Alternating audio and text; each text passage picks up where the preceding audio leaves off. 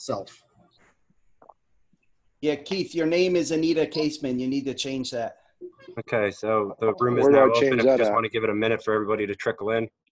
If you click, if you bring your mouse over to your picture, Keith, and you hit, there's three little dots at the top right. Right click on your face image. Right click on your face image. Don't click on it. Right click on it. Oh, I'm on my phone too. So Oh, Joe, can you change his name? Or make me an admin, I'll do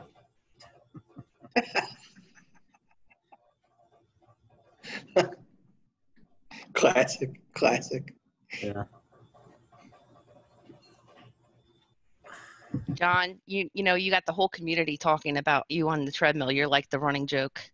Good. They, what they need to do is they need to start a pool on guessing how many steps I do. Oh, that's a nice one. And the donation goes to, you know, the food bank or something. I like it. Keep things other- interesting. The other day I hit, oh, yeah, for the joint, the upper bucks that night, Monday, Yeah. I hit over 50,000 steps. What? That's insane. How do you do it? And should I tell you that it's barefoot too? No way. Way, Really? That's You not to- uncomfortable. you have to build up your tolerance, but it's Yeah. actually, it's, you know, it's, it's better for your arches. It's that, Eh.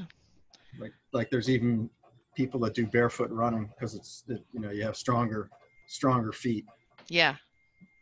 instead of being weakened. So by- being from the south does have advantages. we like to be barefoot, you know, just a Yeah. joke. But I, I won't, yeah, I'm not touching that one. you know better. Yeah, it doesn't work so well if it's icy cold out.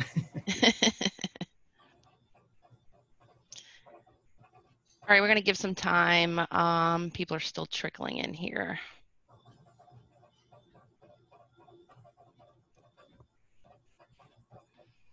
Keith is Keith now. Okay. Keith, you at the hospital?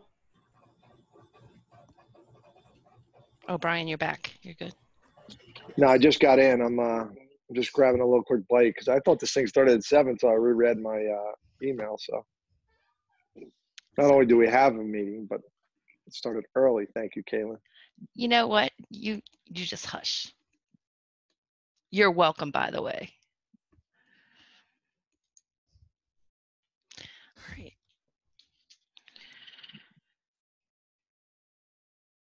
Okay, Jenny's trying to get in, so let me.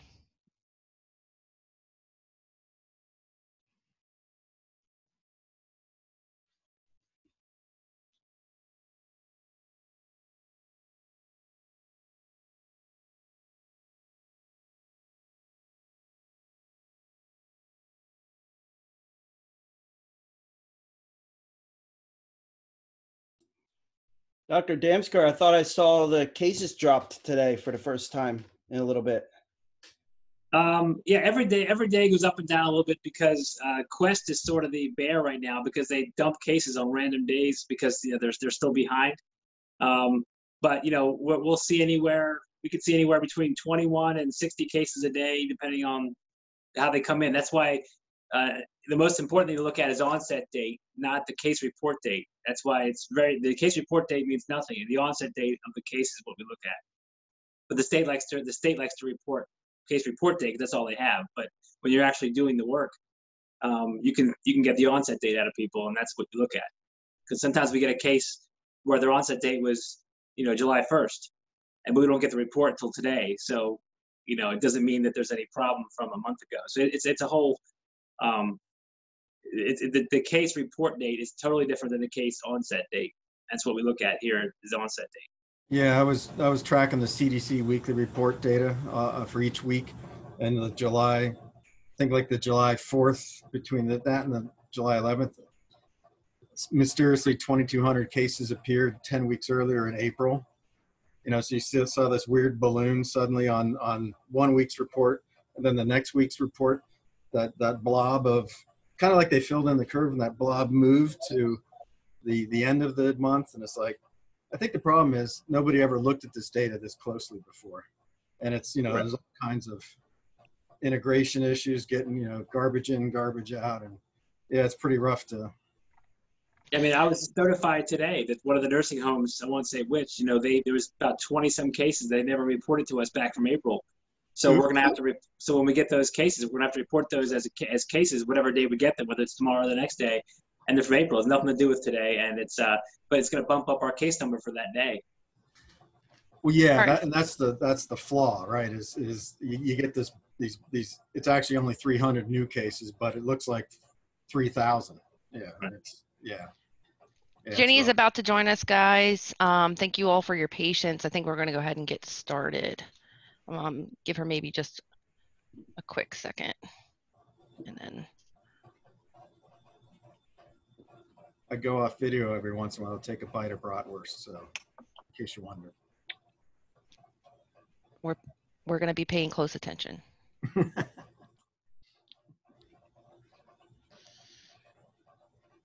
All right. Um, I'm going to go ahead and call the meeting to order and knowing that Jenny should be joining us briefly. So we'll start with the flag salute. And Joe, you want to get us a flag going here? Okay. I pledge allegiance To the to the flag. flag, Flag the United States of America, and to the republic Republic for which it for which it stands, stands, one nation, under God, indivisible, indivisible, with with liberty and justice for all. for all.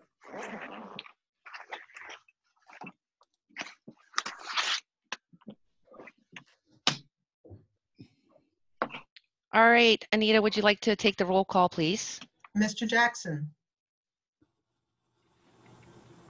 I'm here. Mr. Kern, Here, Mr. Akmanowitz, Ms. Weed, Mr. McCucci, I'm here. Mr. Reimers, Say something, Mr. Reimers. he might be muted. I saw him, he's here. Yeah. Um, Mr. Spear, Here. All right. Uh, the only announcement I have is that this meeting is being recorded by the board secretary. So thank you all uh, for joining us at this special meeting tonight. Tonight we feature Dr. Damsker. He's the director of the Bucks County Health Department. And afterwards, we're going to update you on some great work, some of the great work that Lifespan has been doing during the spring and summer and the plans to support our district, uh, their plans to support our district before and after care. Uh, and we have a couple of items that are on the agenda, but other than that, it's a pretty light agenda. So on Monday, we hosted a tour for Dr. Damsker of the high school and Quakertown Elementary. In attendance were myself, Dr. Harner.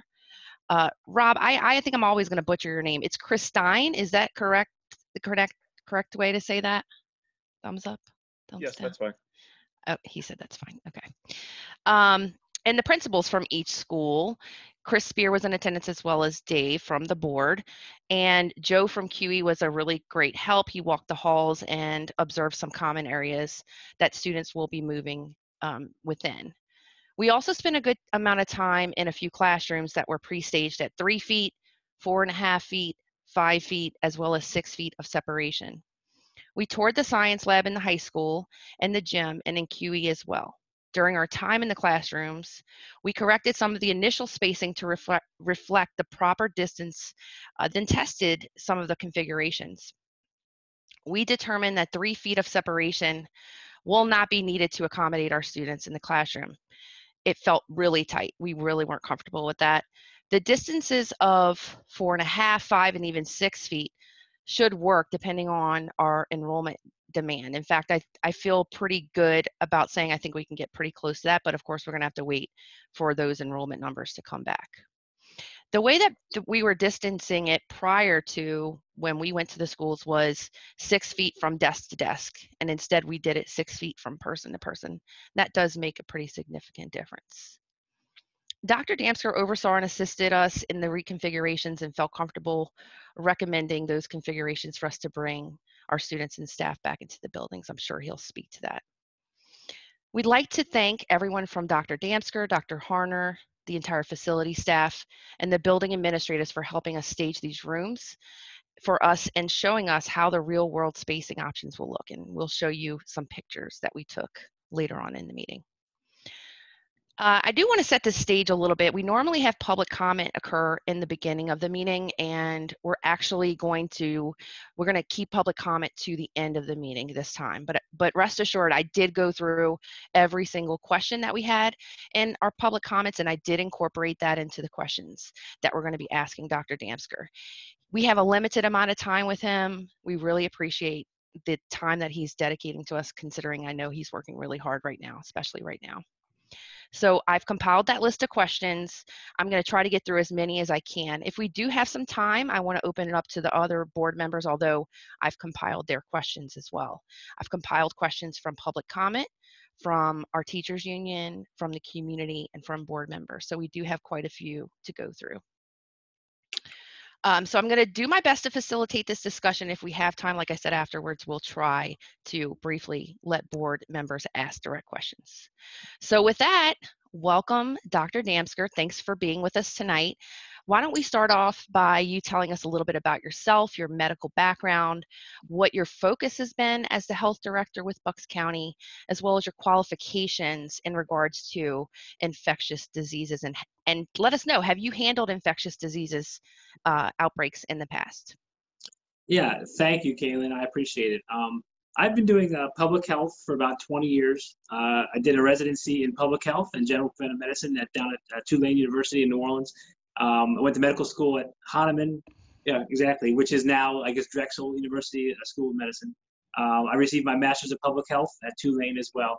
Um, and I've been doing public health for about 20 years, and I've been involved with things all the way back from the um, uh, from mosquito-borne outbreaks that they've had in Louisiana um, in, in the early 2000s. Uh, we had the first SARS outbreak. Uh, I led the charge here with H1N1 uh, here in Bucks County. We gave tens of thousands of doses in every school district. Uh, we, on a regular basis, we handle measles, mumps, pertussis, um, chickenpox, and about 30 other diseases people haven't even heard of. Um, there's there's 70 reportable diseases here in Bucks County uh, or in the state of Pennsylvania. Uh, of course, recently we were handling the Ebola crisis. Uh, my department was much more involved with Ebola than people realized. There was people coming from countries in Africa that we had to monitor daily uh, for many, many months. Uh, people didn't realize how long the response was lasting. Um, but yeah, a lot of a big part of my job is dealing with infectious disease outbreaks here in Bucks County on a regular basis. Um, and of course, this this the uh, the coronavirus 19 outbreak uh, is clearly uh, the most, in a lot of ways, the most difficult and challenging one we've had um, because it is obviously a relatively uh, a new strain of, a, of we deal with coronaviruses all the time, uh, but this is a different kind of coronavirus. Uh, with regard to what it can do to people, and and, and it's, it's sort of a worst case virus in a lot of ways because it's um, it can go all the way from no symptoms all the way to putting someone on a ventilator. So it's a very uh, it's a very interesting yet uh, difficult disease to deal with. So um, that's just, I guess, the kind of way I do want to get into sort of what's happening here in Bucks County, or let me know what you want to talk about because it's there's Yeah. so much that we can go Oh, yeah. into. We have a lot. We have a lot. Um, so before we get into the questions, I know that you have children yourself, and some people wanted to know do you feel safe sending your kids to school? And are you opting for your children to return back to school? Uh, yes, um, I, I- have three daughters uh, in the Central Bucks School District. Um, uh, they, they, their model is uh, for the element for the elementary education. Uh, I'm going to ask my youngest to go back to school full time, and at the secondary level, they have a hybrid model, which I would be um, placing my older two daughters in in that model. Um, I do understand that there's you know that there's a lot of opinions out there. There's a lot of there's a lot of um, um, you know fear in people, and I get that. Um, you know, and I, but I do believe that uh, the districts are all offering either whether it's in person or hybrid. There's an in-person type model, and there's also a virtual model. And I think by offering both of those types of things, that allows any family to make the decision that's best for their family. Yes, thank you. Thank you. So, as you mentioned, we do have a lot of anxiety with families, with teachers, staff about returning to a school environment. So, yes, can you tell us a little bit about what you've learned about this virus, how it's transmitted, um, how is it specifically affecting our local community, and do you feel like it's controlled in our local community? Yeah, it, it's it's definitely like it- it's it's spread similarly to the flu virus, which is a droplet spread. Um, this is when someone is coughing, sneezing, um, you know, and and someone is is close by to them, and those droplets get on your hands, get in your eyes, nose, or mouth, uh, and then you know sometimes it gets in your hands. You rub, you rub your eye. You might you know eat something. Uh, you might touch something. You know, the, the CDC has kind of gone back and forth a little bit on whether you can touch a table and get it. Um, and um, we believe that you can get it from touching surfaces. Uh, the virus can last. Uh, um, we're not sure whether that's the majority of the way people are getting it, but uh, we've had we had one case where someone didn't touch anything but a gas pump, um, and the person literally didn't go anywhere, didn't do anything, didn't talk to anybody, but touched the gas pump. Um, so it clearly can be spread on on surfaces. We don't know just how far, but that's why you know cleaning services is obviously a major part of, of our response. Um, what I can tell you here in Bucks County is that we had overall we had a large spike, you know, mid to late April through early May. Um, many of those cases, unfortunately, were in our long-term care facilities where we had um, some deaths. We had a lot of deaths in those facilities, and this disease clearly um, has a major impact on those that are that are those that are especially bedridden. Those are long-term care facilities. These are our most fragile citizens, um, and and and it made it into those facilities.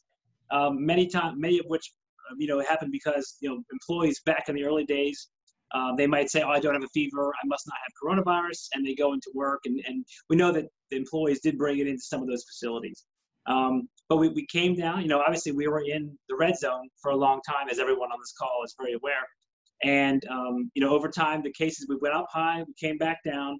Uh, and, I, and I was saying this from the very beginning that once we moved into the yellow and then again the green, um, you know, we're opening all businesses, right? Almost every business is open um, that, that can be open, even if they're in a, in a controlled or, or restricted fashion. And, you know, everyone's out and about. So, you know, the, the idea that we have a few more cases than we did at the very bottom uh, makes a lot more sense. So if we have an average of 40 cases a day today versus 20, you know, cases a day at our lowest, uh, we feel like we're sort of at a plateau now where we have this, um, there, there's a baseline number of cases here in Bucks County. We'll probably be there uh, for a while until a vaccine comes out or something else happens to change that. What I can tell you is in the, uh, the municipalities that make up Quakertown School District, right now we have 27 active cases in those five municipalities. Uh, with Milford, Haycock, Quakertown Borough, Richland Township, and uh, maybe there's six, Trumbauersville and um, uh, Richland Town. But I believe there's there's 27 active cases right now in the entire school district. Now, of course, there's more than that, most likely, because not everybody gets tested um, you know, and, and not everybody, you know, feels the need because some people, a lot of people don't have major symptoms or they know that their wife had it and they know they probably have it. So they don't want to go get swabbed, which is not a pleasant experience depending on where you go. Um, but overall, I would say the upper part of the county um, has the least number of cases, you know, as opposed to the middle or the lower part of the county. And that is obviously in, in Quakertown's favor. Um, the, the population density is a little bit lower in the upper end of the county than it is, and there's portions that are crowded, but certainly relative to the lower end of the county, it's less crowded. And I think that um, everyone, uh, you know, walking around, people are wearing masks, people are doing the things they need to do, uh, and, and, overall, um, you know, as I said, we're, we're sort of at a plateau. It's a higher plateau than we were when everyone was in their houses, um, where everybody is sort of, and yeah, there, there's a good graph. I'm going to go ahead Um, and share this data with yeah. uh, that. Yeah, hold on one second. Let me get to And, and that graph, that graph is done by onset date. I want to explain to everybody on this call the difference between onset date versus the case report date. The case report date, like, so let's say today, we had 50 cases today at the health department. Some of those cases were old. Some of those cases may have had an onset date in June, in July, but we were just made aware of them today. So we have to report them to the state and publicly today. But the onset date of that case, the, the first day that person felt symptoms, uh, you know, that's what we're, that's what we're, that's the most important part of an epi curve. An epidemiology curve shows the onset date. It's like it's like you know, if you go to a wedding or you hear about the stories, oh, there's a bunch of people with diarrhea or vomiting from a wedding. You you don't look at what day the case is reported because that could be a week or two later. You look at what day the onset. So you you look okay after a wedding, one day 12 people got sick. Two days later, four people got sick. You don't say, well, the cases were all reported two weeks later, so that's when they all got sick, right? You look at the actual onset of those of the symptoms. So this graph shows how we had a large spike, uh, and you can see the the the, the individual um, columns are the actual numbers of cases we reported that day. But that the, the line that you show is sort of the overall trend line that you can do on Excel, and it shows we had a major spike, uh, you know, earlier in, the in the uh, in the pandemic. We came down, uh, and then slowly we became came up. Once we went to yellow and green, uh, and people were out and about a little bit more, you can see why um, you know those cases went up. But I think everybody understands that common sense says that the more people that are out and about, the more likely to get cases. And the the bottom part of this graph, you can see the number of deaths. And you know the vast majority of those deaths, as I said earlier, were in our nursing uh, care facilities or long-term care facilities. And you can see since we've gotten that problem under control, and they're doing things like you know everyone is being tested in these facilities like every week. You know all the staff members are being tested, all the residents. So we've been able to keep it out of our out of our long-term care facilities uh, for the most part since that outbreak. And you can see the deaths obviously are way down. And that's what happens once you get once you get this virus into the non long-term care population, the death rate goes way, way, way down. Mhm. Um, and you know, there's been no deaths in Bucks County of anyone under 30. Uh, and the few people that have been younger, uh, you know, they've had some of them has very severe underlying conditions. Doesn't negate how ter- tragic it is, obviously, but it does show that um, that for the most part, uh, you know, it certainly is not affecting the children in schools. Uh, and I understand, you know, there's the, and we can get into that later about, you know, how that could affect other people. But clearly, um, children, uh, you know, have a much better uh, outcome from this disease, and that's been shown, uh, you know, time and time again. Thank you. I'm going to go to the next one. Why won't it let me go? By the way, while Kaylin's doing that, Dr. Damsker, if. I might, when you mention uh, cases being, like, like tests happening multiple times in the nursing homes, th- does that cause double, triple, like, does that add a data point for a positive each time? No, no, no. Um, if, if someone is tested, you know, on January or for July 1st, they're positive. They're tested again on July 8th and still positive. They only count once for our numbers. Okay. Good. All right, here's the next slide. Right. And this is community spread. So we, we define the definition of community spread is when we have no idea where the person got sick. So we, we do contact tracing on every case in Bucks County. We try to figure out, you know, where they've been, who they've been in contact with. We try to figure out where they got it from. That's and then obviously talk to any close contacts and, and let them know um, that they need either quarantine or get tested or whatever the situation may be. And you can see here, we started off with, with and again, the community spread in general did go up, but the number, the overall numbers aren't that high. Um, because we can, it's, it's actually when you take the time to call people and figure out where they got it from, a lot of times they can say, you know, I ended up, uh, I was in a car with someone who told me they tested positive, so we know, we know how they, they, they got sick. And when we can keep that under control uh, in as little number as possible, it doesn't mean that there's not spread in the community, but pure community spread is defined as not knowing. And and it took a while uh, for that to, to bump up. The first few weeks of this of this outbreak, we were able to basically pinpoint, or this person came back from Spain, or this person came from China, or this person, you know, hung out with someone who came from Spain. And then we slowly worked our way up to saying, person said, I didn't go anywhere that I know of. All I went to do, I went to the grocery store. And that's we still consider those to be pure community spread, where they don't know anyone who is sick.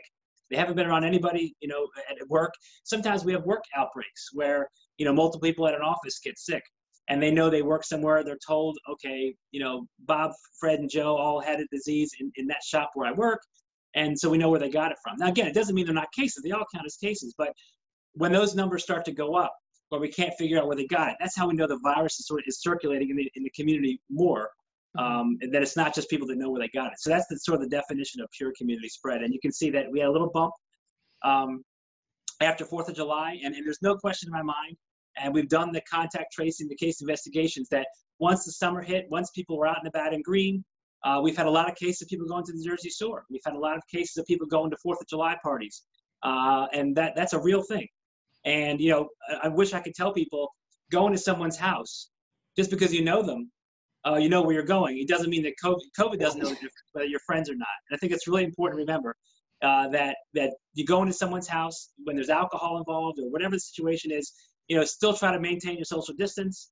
Uh, if you're outside, keep that six feet distance because we've seen people saying, "Well, I'm going to my friend Bob's house, you know, for a big party. I can't get COVID there because I know Bob, right?" And and it's interesting that those those things have actually caused more problems in a lot of ways than you know people randomly getting it at Target. You know, we just don't. It, it's it's actually more from people you know thinking that they're in a comfortable situation, uh, and that's where they end up getting it sometimes. So we want people to focus on those kinds of places. You can still hang out with your friends and, and do things, but be smart when you do it.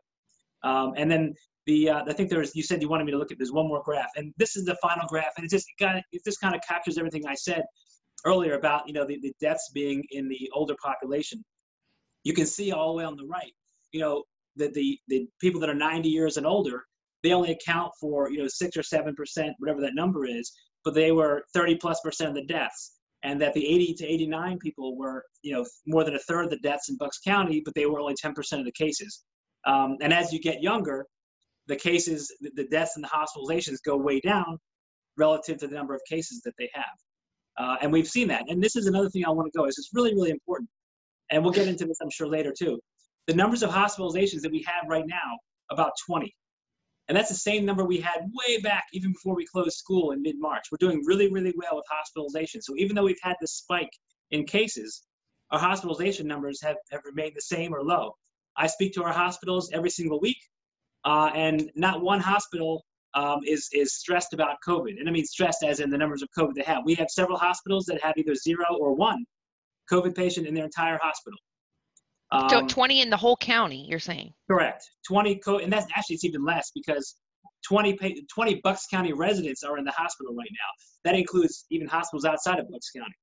So there's even less than 20 patients that are hospitalized in Bucks County right now.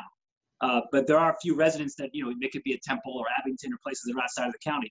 So our hospitals are not feeling the strain from COVID right now. Some of the hospitals, obviously, they're getting a little bit busier with normal stuff. You know, people are finally getting out and about. They feel comfortable leaving their homes and getting things done. Mhm. Um, and another thing that I want to mention that uh, you know that they the hospitals a lot of them are doing pre-surgery testing and pre-operation testing and things, and we're not seeing a ton of people turning positive on those. You know, we've seen it's about one percent. Mhm. Um, so that shows you that there's not a ton of virus just circulating in random people everywhere. Uh, we do know that there's more cases than what we have confirmed. We're about one percent. You know, we're over one percent of our county has now gotten COVID, and and um, so you know that's about 6,280 because there's 628,000 people in the county. But um, what that tells you is that uh, you know they're doing pre pre exposure pre surgery and pre uh, procedure testing, and they're not getting a lot of positives, which is another good sign. Mhm. So overall, again, the hospitalizations are low, and I can't emphasize that enough. That was why Governor Wolf, you know, did the stay-at-home order at the beginning, right? They didn't want the hospitals to be overwhelmed. And right now, knock on wood, uh, I certainly don't want to jinx anything. Um, but even with our even with our bump up to the average of you know 40 or so cases a day, our hospitals are not being stressed at all, and some of them don't have any COVID patients in them. Mhm. How many how many patients have we had uh, who are children throughout this time that have been hospitalized? I believe there's been there was one or two, uh, and uh, one of them was a newborn who was put in there after they they, they were a little they were they were they were infected by their mother, uh, and they were just being careful and they kept the baby in the hospital for a day. Uh, And there was one other person that was in the hospital, um, uh, and they were I believe they're in there for one night. Um, Okay. So we really have we have had uh, no serious illnesses in children so far, and we've been lucky. Uh, clearly, they children can be seriously ill in, in, in rare situations, and you've seen that if you look across the country. Um, but here in Bucks County, we haven't seen that. Okay, great. That's good to know. It's a, l- it's definitely promising. I mean, we feel it, it's so unfortunate for anyone who has to be in that scenario, but it's good to hear that that's not a huge issue, at least right now in our county. So let's talk social distancing. This is a big question that came up. So there's a lot of confusion because the target is always moving. So um, a few questions regards to this. So what do schools do when you can't distance six feet? Should masks be weared, worn, excuse me, when um, you're able to distance six feet? And let us know your thoughts on how schools should proceed with their distancing parameters and what teachers and families should know about the risk and uh, mitigation strategies. Sure, I think it's important, you know, that just to just to clarify this, you know, once and for all, you know, the guidelines that are put out by CDC, the State Department of Health, talk about six feet, you know, when possible, when feasible, and those are very important qualifiers. And the guidance that Bucks County put out said the same thing. Uh, we always say you aim for six feet, um, and that, but but of course, we knowing, uh, this is why those qualifiers are there. That there's many school districts throughout the United States and in Pennsylvania that cannot do a full six feet between um, between students and actually reopen in person. So that's why those qualifiers qualifiers qualifiers are there. Uh, and the three feet distance uh, was put as a floor minimum. Um, I clearly, you know, put I, I put that in our guidance, and there's not a whole lot of other guidance in the state of Pennsylvania that has that three foot floor. Massachusetts and Virginia both do uh, mention that in their guidance for their states. but they're not saying aim for three. They're saying aim for six uh, with a minimum of three. And the three foot, um, and I'm happy to get into it if you want a little bit more, but you know that that is a that, that goes back. There's a lot of research on droplets, right? This, as I said earlier, this is spread by droplets. When you cough, sneeze, talk, there's large respiratory droplets that come out of your mouth, and and they they come down. In about three feet, a, vast majority of them do drop out. Now, of course, are there some that could go a little further? Absolutely. Um, and is six feet a little bit better than three? Um, most likely. Is 12 feet better? Is 15 feet better? You know, you know, if me, me and Kaylin probably can't get each other sick right now because we're pretty far from each other. Um, and and I think that's important to know. So obviously, a little bit better. It's always better to be a little bit further. Um, and, and we push that. But there are situations where six feet can't be met. And there's, there's and, and there's there's literally countries around the world that are going back to school, you know, now and in a month uh, where they will be using three foot as the distance in their schools. Uh, I know there's all kinds of discussions about, well, Europe has it under control and we don't. Um, but I would say that overall, you know, Pennsylvania is doing really well. Uh, and, and I think that the masking order is really important here. Um, the governor's universal masking order allows you to go within that six foot um, amount and still be safe, okay? Um, you know, the whole idea behind masks, we've been talking about this for months, right? If you can't get within, before the masking order, they said if you, if you can't stay six feet away from someone, make sure you're wearing a mask. Well, in this situation, we're going to be having kids who may or may not be six feet apart in certain situations. They may, they may not be. They will all be wearing masks. And I think that's really important um, to, to get out there that these, we're not we're not putting kids in a situation where they'd be sitting four feet from someone without a mask. Um, and another really important point is here. and I know some people, uh, uh, it's not only it's not the only thing. We're also looking at not bringing kids in that are sick. And I know that there's some parents that that may try to send their kids in, and we, we can't stop it. But if I say this, and I think this is really important, if most people do the right thing most of the time, we'll be in pretty good shape. And so bringing kids in that aren't sick to school, they're wearing masks, and they're as far apart as possible, whether it's four and a half feet, five feet, whatever it may be, that's going to keep our kids from spreading it in schools. And that's what we're trying to do. Great. Thank you. So along those lines, your guidance, um, I'm glad that you were able to clarify some of that. Some people feel like your guidance conflicts with the CDC and the Department of Education. And I know that you just touched on that a little bit. If six feet is the goal for social distancing, why was three foot recommended in your guidelines? And so do, do your guidelines conflict with the CDC and, and the Department of Education? Uh, they, they don't. Um, and there was actually an article in the newspaper this week uh, where they actually interviewed the state health department and they, they looked at our plan and they said that they're, they're in agreement. Uh, the reason why I got a little bit of, flack for this is because I put that three foot floor. Um, everyone else is saying six feet when feasible. The CDC says that, the uh, Department of Education says that, the Department of Health says that. Um, I was trying to put that in there.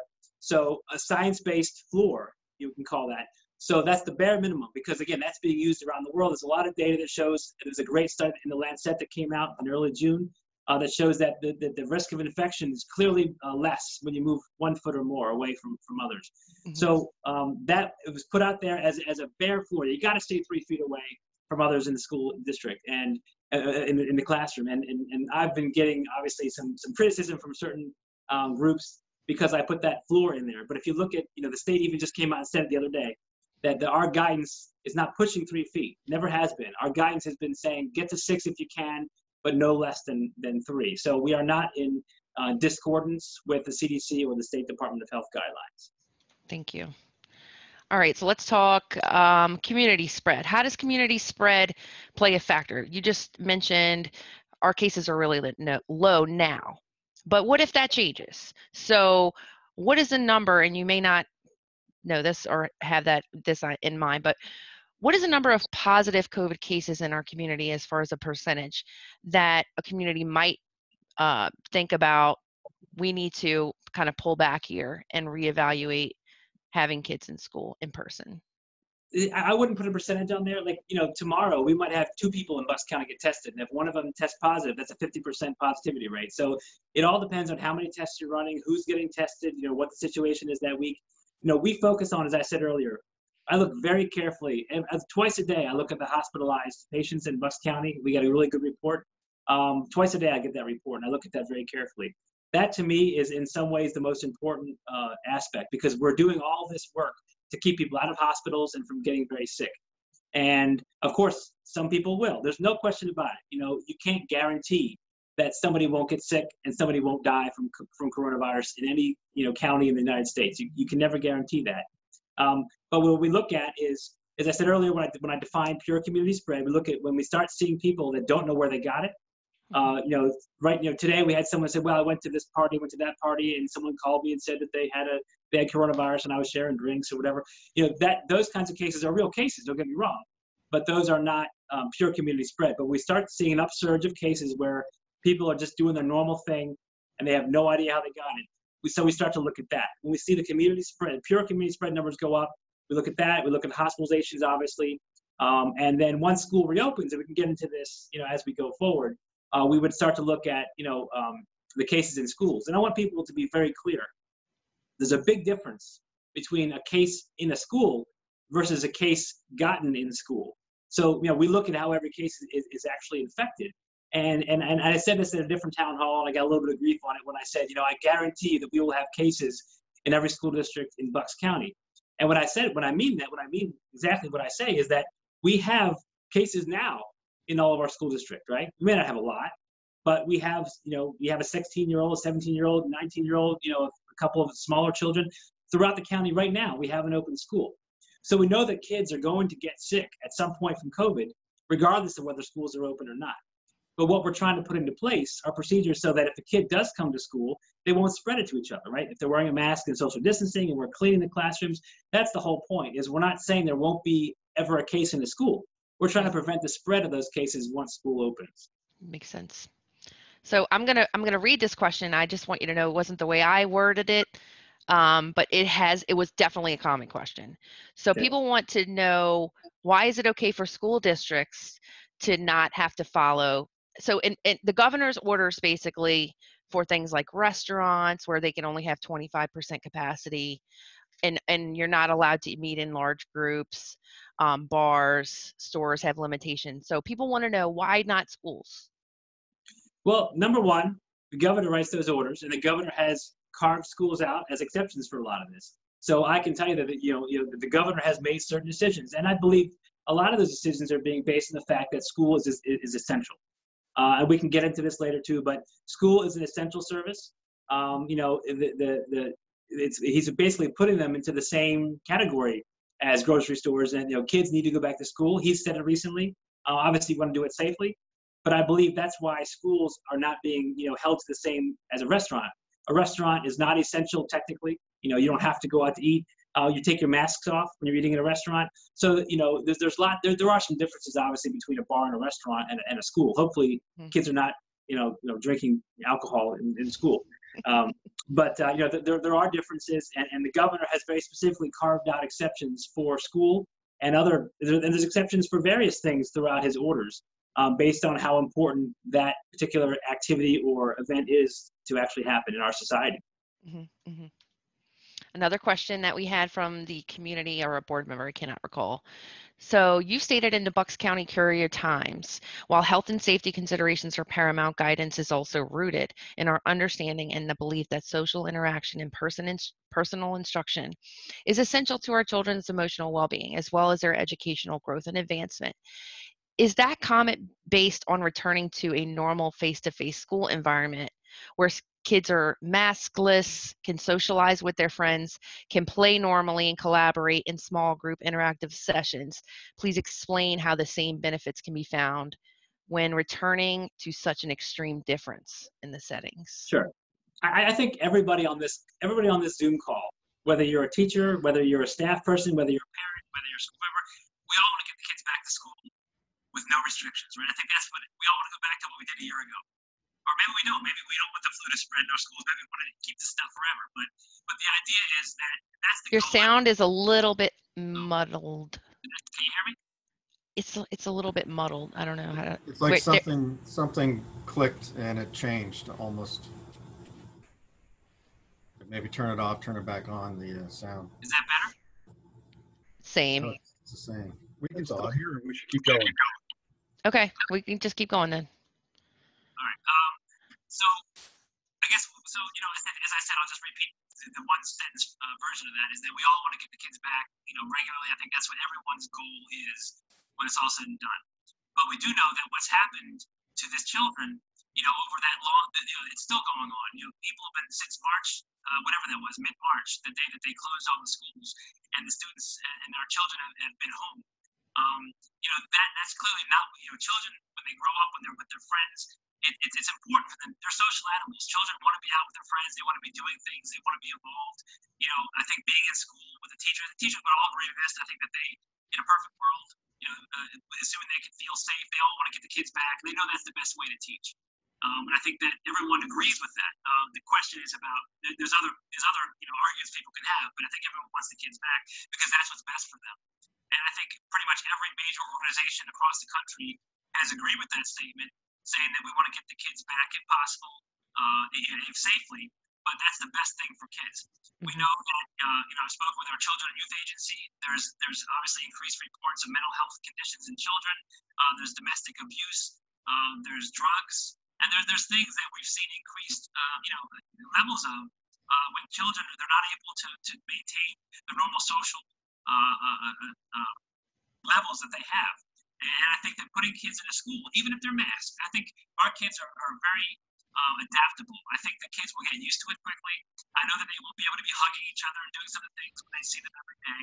But I do believe that um, uh, after a couple of weeks of, of, getting used to sort of what's going on, they'll still be with their friends. They'll still be able to socialize, uh, have conversations, be with their teachers, uh, in, in, an in-person environment. You know, I'm not sure how it's going to work with the virtual choice. You know, I know that everyone's making those choices, what's best for the family. Um, but even in that environment, they'll still be able to hopefully, you know, see what's going on in the classroom and feel it, and feel a part. I, I don't know how it's going to work for each school district; it's different. Um, right. But I do believe that um, the children that aren't going back in person will still feel that camaraderie that they have with their friends, uh, even if they're wearing masks, even if they're not able to give them the hug, normal hugs that they do being with their friends, I believe, has a, has a real uh, social and emotional value uh, that, I, that I think is important. And, and I'm not just saying that myself. There's a lot, again, there's a lot of organizations nationally that, that, that agree with that statement. Mm-hmm. All right, I hate to do this, Dr. Damsker, but you're starting to sound like Darth Vader now. So maybe it's like echoing. Could you try to maybe exit the call and rejoin us to see if that helps? And I'm so sorry for those in the public. It's okay.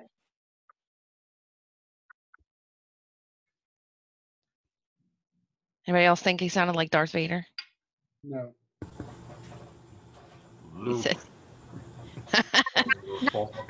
but hard to hear. Hard to hear. yeah, that was that was definitely a little painful. So let's hope that. Caitlin, you did get a couple more questions on the Q and A. If if you So want I to. yeah, let me address that, guys. I am trying to. I'm going to try to get through as many of the questions we have already pre-populated. If we Yeah. have time, we'll get definitely um, attempt to get through the others. Is that any better or the same? Woo! Okay. It was worth it. Okay. Thank you for doing that. Sure. All right. Bear with me. I'm just going to scroll back up here. Okay.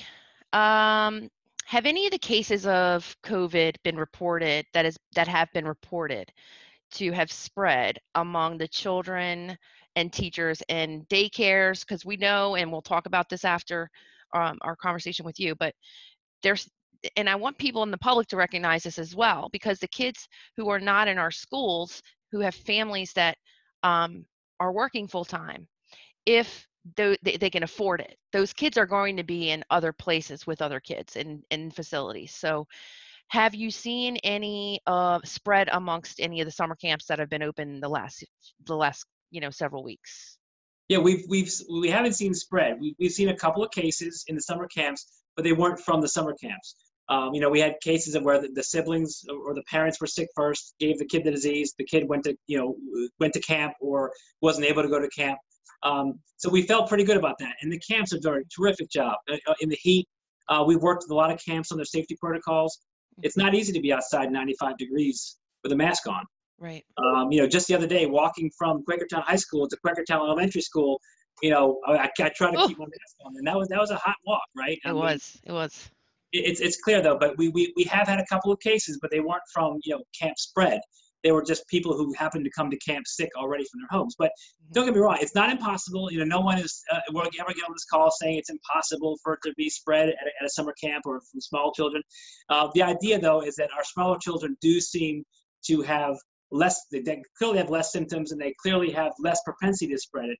But it's not impossible, right? I mean, it, it's nothing's impossible in medicine, and we never want to say that. Um, but we do we do know that kids are less uh, likely to be sick and they at least at least the smaller kids are less likely to spread the disease and we hope that that trend continues. That actually uh, that helps us with the transition to the next question which is contact tracing and transmitting the virus to adults. I think a lot of people are worried about that and, and i know that there's some data out there that supports that that the kids are not as likely to transmit the virus but out of your contact tracing that you've done how many children are suspected of transmitting the virus to adults? We, we haven't really had any young kids uh, at all but we have a handful of older to teenagers uh, in, in a couple. I would say i think it was uh, probably six or seven cases where we know documented and it may have happened more um, but we know that if it's a, it's a 16 year old and, and these are household contacts. And and we do know that if you have a you look, if you have a 16, 17, 18 year old kid uh, in someone's home, no one's wearing masks, no one's cleaning up after you know people are all using the same uh, sinks and refrigerators and bathrooms, and people aren't uh, doing the hygiene. You know, it makes sense that that could be spread. Um, and is it possible if people go to a party and they share a vape pen, they share a beer, they share whatever? Of course, you know things can th- things can spread. Um, so, but we haven't seen a lot of that. You know, certainly outside of uh, teenagers, which once you're 18 years old, you know, you're basically an adult, and 16, 17, 18 year olds um, in, in, those situations could spread it. The most important thing to remember, though, as I said, I think I said this at the beginning, is we're not talking about people at parties drinking and vaping. We're talking about kids being socially distanced at school, wearing masks in a very structured environment. Um, and because whether, no matter what we do in school, it's really important that our, that our, especially our, you know, the older kids, the seniors and teenagers, don't go to your kid's house, you know, your friend's house, and do and do do stupid things and and and not and pretend that COVID doesn't exist. Mm-hmm. And I think that's really even more. That's just as an important point as what we're doing in schools right now is making sure that overall that people keep making good decisions, whether it's you know whether it's an 18 year old, whether it's a 48 year old, make good decisions when you're out and about. Because you can make everybody wear a mask in Target and Giant, but if, as soon as you get home, you have 20 people at your house and play beer pong, then you know we, we can have problems. So I think it's it's it's in everyone's best interest to keep doing those things even when they're not in school, and that will help prevent bringing any cases in, the first place. Mm-hmm. Is, is never- this part of being from New Orleans? What? Uh, this is, So, John's- so John's. Kayla, this is Keith. Can you hear me? I can. Can I ask a quick question to sort of follow up on that? Um, and, and maybe you could touch on it a little bit. Is really is that is that spread less because of you know sort of the the, the viral load that you would suspect uh, in in patients that are are less ill uh, as opposed to patients that are severely ill? Uh, You talking about kids? You mean? yeah, I mean, is that I mean, we, we you know we we talk a lot about viral load, and you hear it once in a while mentioned, um, but but you know a couple questions around the data, um, and and sort of this low level of ho- if, if any hospitalizations um, speaks that you know what one's got to ask is is why right? So either the population of people that are getting it are healthier and therefore able to fend it off, like as opposed to the beginning of the epidemic, um, or you know, are we seeing you know sort of it just muddle around and people aren't as sick, but they are just sort of passing it along in in a lesser amount? Is there any thought? Yeah, I don't, I don't know whether viral load has anything to do with it, but I can tell you, especially like in small children, if you're a three-year-old with COVID, and you know you're you're you're talking, you're you're very you're very low to the ground. So and this is sort of a physics thing, right? I mean, I'm not a physics Right. teacher by any stretch, um, but I did stay at Holiday Express last night. The the the the droplets do go down, uh, you know, by gravity. So spreading to adults would make would make actually sense. If a three-year-old, you know, with a parent, you know, they're not going to be uh, the droplets going to go down. Whether it's three feet or six feet, they're still going to drop to the ground. Uh, and like you said earlier, when you're not when you- when you're asymptomatic, when you're very mildly symptomatic, they, they there is there is some theories out there that those people are not shedding as much uh, as someone who's very sick. But I don't think there's been I don't think you can we can prove that scientifically where measure you know viral loads. There is there are some studies showing that that less uh, the people that are symptomatic do clear the disease faster. So we know that people that are asymptomatic, uh, and China did a nice study on that, showing that you know the, the, the there, are fewer days. The, the nasal the uh, swab is negative in fewer days of those that were mildly symptomatic versus those that were more symptomatic. They they kind of recover quicker. It's hard to know whether they're shedding it as much or not, but they do recover quicker, and I think that's important that they're not out uh, infectious as long a period as someone who's more symptomatic. Mhm. Thank I you. hope that helps a little bit, but um, So we know masks are important. We also know that this, the Pennsylvania Department of Education recently said that that face shields could be used in place of masks. And I know there's a lot of concern about that from especially our teachers. They're concerned that it doesn't offer enough protection. So I wanted to know what your recommendations were in regards to mask versus face shields. Yeah, and I think that the most important thing is we want parents to feel comfortable. Just like their choice between in person and virtual, we want the parents to feel comfortable. Uh, the, the face shields are the, the, the good study that was done, the major the study that was done you know, several years ago shows that you know if I were to cough in your face and you're wearing a face shield, it provides really good protection. You know, it gives you eye protection that masks don't do, and we know that if you get coronavirus or other viruses on your hand and rub your eye, you can certainly inoculate yourself and, and, and get sick from that. And, and that's how one of the reasons people get sick. So we know that masks are good for protection purposes. And this is assuming they're worn properly. Uh, you know, if you, if you flip your face shield up, just like you were, if you pull your mask down, right? And I said this in, in the newspaper the other day, you know, any mask, if you're not wearing a mask correctly, you know, might, you might as well not be wearing one, right? So face shields, I believe, are a little more comfortable to wear for kids. Uh, it gives eye protection. And if you wear it properly, um, you know, people are saying the, the reason why the CDC isn't sure whether they should recommend it or not, it, it talks about source control. And so that source control means if I'm if I have coronavirus and I'm wearing a, a face mask and I cough or sneeze into that mask, it's stopping particles from going places, and that helps prevent the whole room from from getting sick. However, if you're wearing a properly fitted face shield that goes below your chin, wraps around, if I you know cough or sneeze into a face shield, that's a solid plastic impermeable surface. That's going to stop droplets too. And and the reason why there's not big studies on face shields because up until a few months ago, nobody was wearing masks and face shields anywhere except for hospitals, right? And so in hospitals, there's a difference. You know, you, you might hear from a nurse saying, "Well, when I'm in the hospital, I always wear a mask and a face shield," because they're they're dealing with COVID patients. They're doing you know things that aerosolize, um, and, and, and those need N95s. Um, and and those face shields in a hospital setting is different than being in a community setting. Um, and again, the, the governor's order obviously allows it. So right there, that's the answer. That you know, that's the real answer is the governor's order allows it. But there's also clearly this, there's some protective value, uh, you know, for your eyes.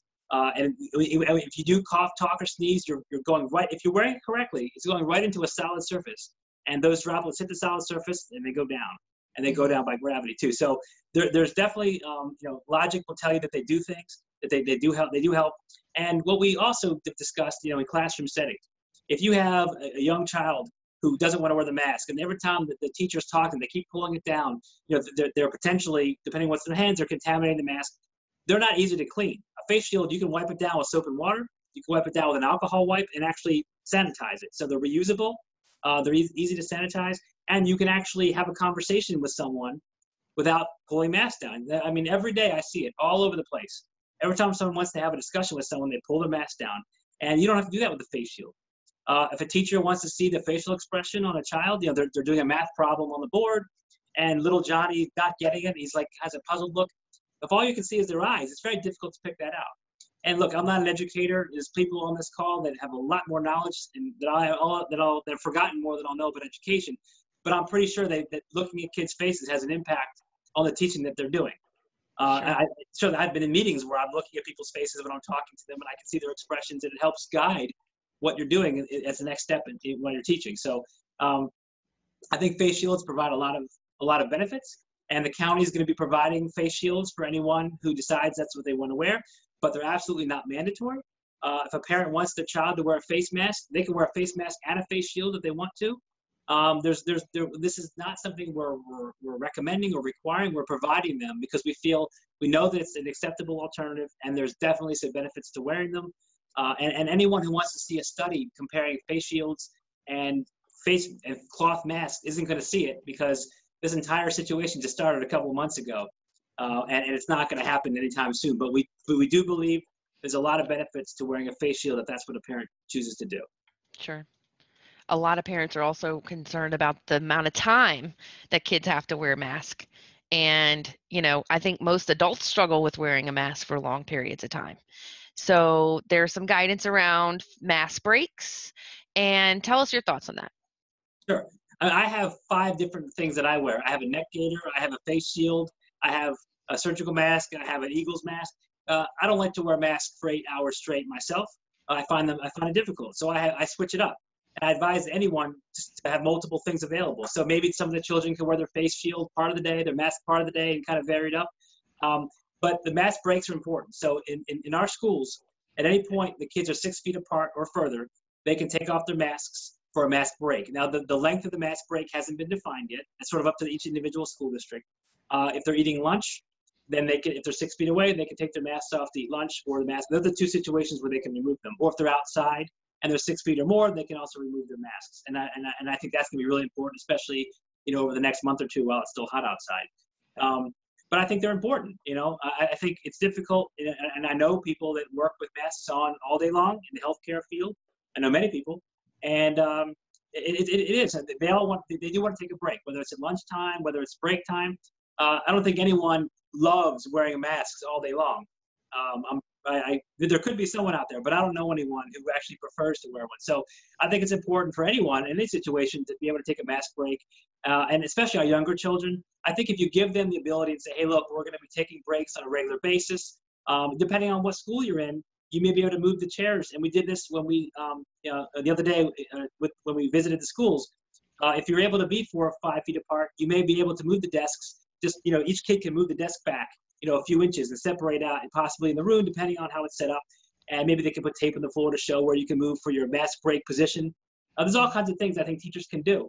Because even if you're not at six feet the entire day, you can you can maybe come up with a way in your room to be six feet apart. Uh, or you can have the children, some of the children can stand up and go to different parts of the room, uh, separate out for the match break and make sure we're all six feet apart. But I think that's up to each individual teacher and principal and school district to figure out ways to ha- make that happen. But I'm a firm believer that you know children should be practicing wearing their masks when they're not in school, and they kind of get used to wearing them. Um, you don't want to put a kid in school for the first time having never worn a mask.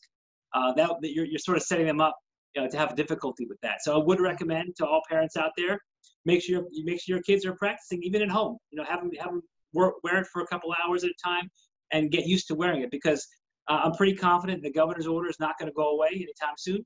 I think kids will, and well, all of us will be wearing masks into the foreseeable future. Uh, you know, certainly until the end of the year, possibly longer, uh, depending on what happens. Um, so uh, again, it, it's give the kids options, figure out what's best for them. A kid who's wearing a mask that they feel comfortable wearing is one that they're going to wear. Hmm Mm-hmm. Okay, recess. A lot of teachers are thinking, "Oh my gosh, if my kids don't have recess, that's going to be that's going to be a nightmare because kids need to get that energy out." They're asking all sorts of questions. What are we going to do at recess? Do we need to wear masks? Do you know, what are your recommendations? Do you think kids should have still have their recess and what guidance can you give us on that? Yeah, I, recess is extremely important. Uh, you know, being in school all day, uh, you know, kids are kids. They need a little bit of time. Even the older kids need some kind of, you know, break time to, to divorce themselves from the math and the science and everything else. Uh, and I think that recess is extremely important. I think what we need to start looking at are some activities that don't require the kids to be as close as they normally are. Uh, but I can tell you right now, being outside, just in general, is, is extremely, is way less risky. It's, we're, we're seeing, you know, the, the, the cases that we get, you know, I can't say for sure if we've ever had an outside exposure, but we haven't really been able to pinpoint too many pure outside exposures. You know, we had we had the protest that occurred, um, you know, and we we in Bucks County anyway. Now we can't say for sure because somebody may have not told us the truth about where they were, where they weren't.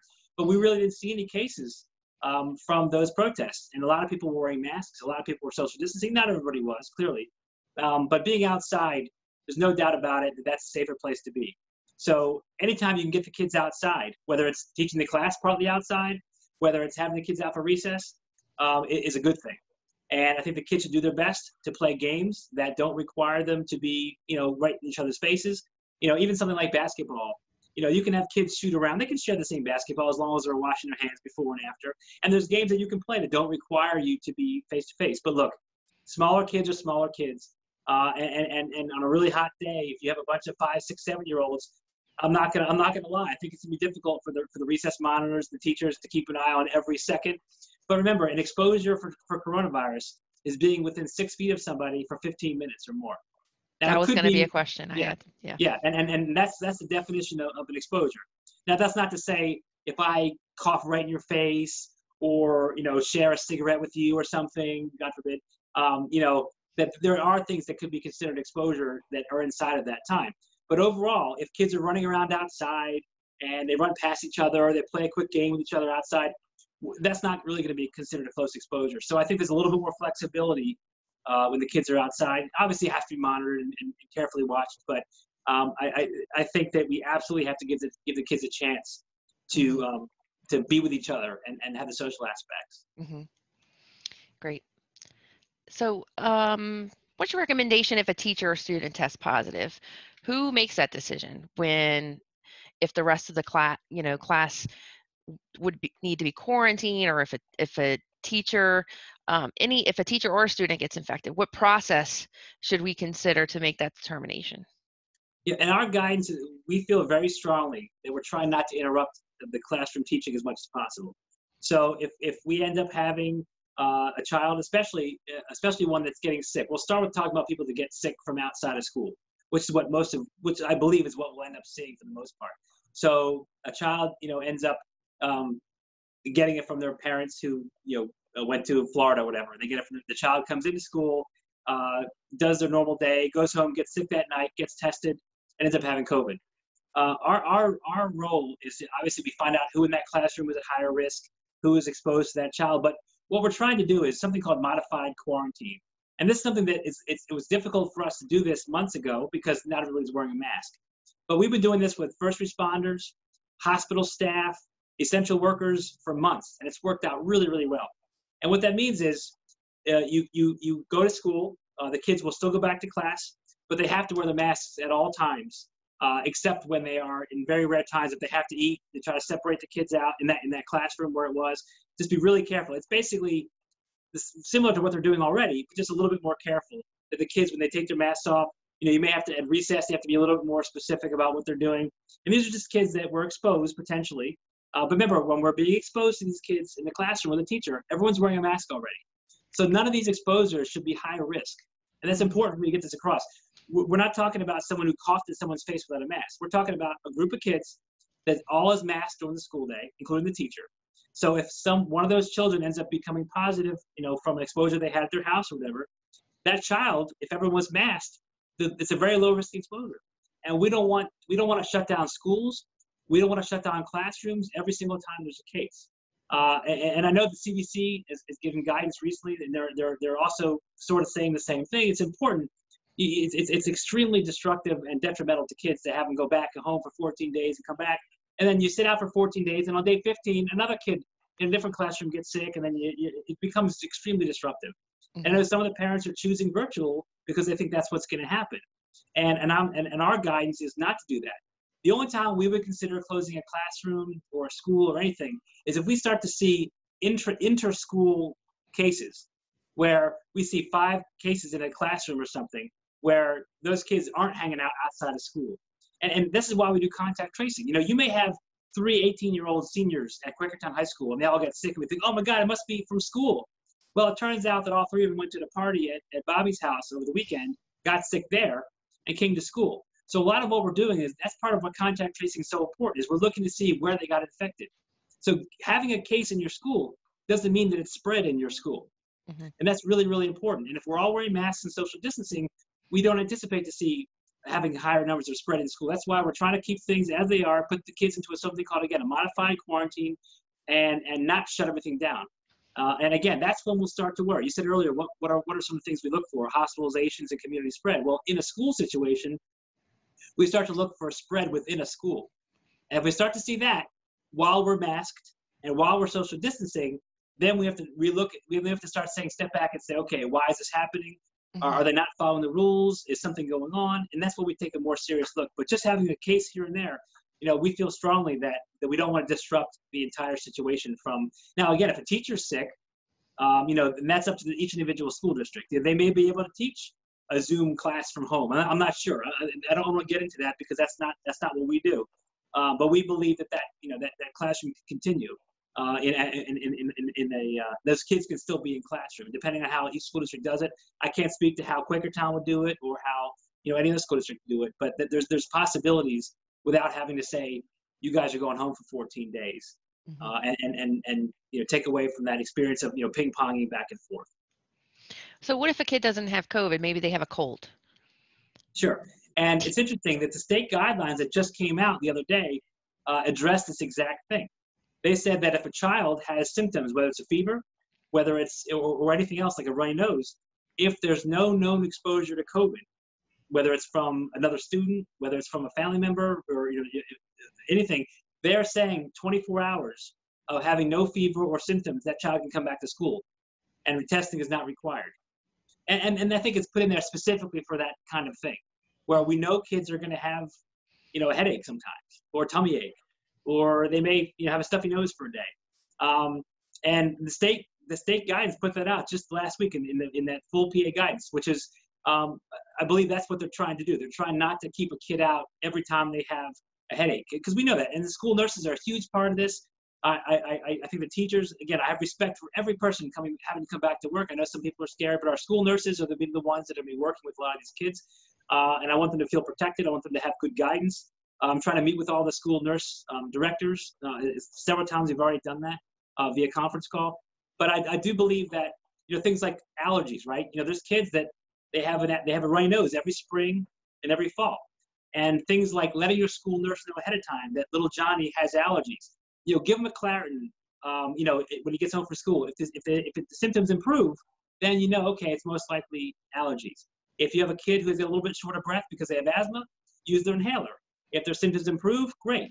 Um, but we, what we've seen is some of the kids in our cases here in Buck County is people say, you know, I have allergies, but this doesn't feel like my allergies, you know, or I've taken my Claritin or my Zyrtec and it didn't really get me better, or my my asthma normally it gets better when I use my inhaler and it didn't get any better.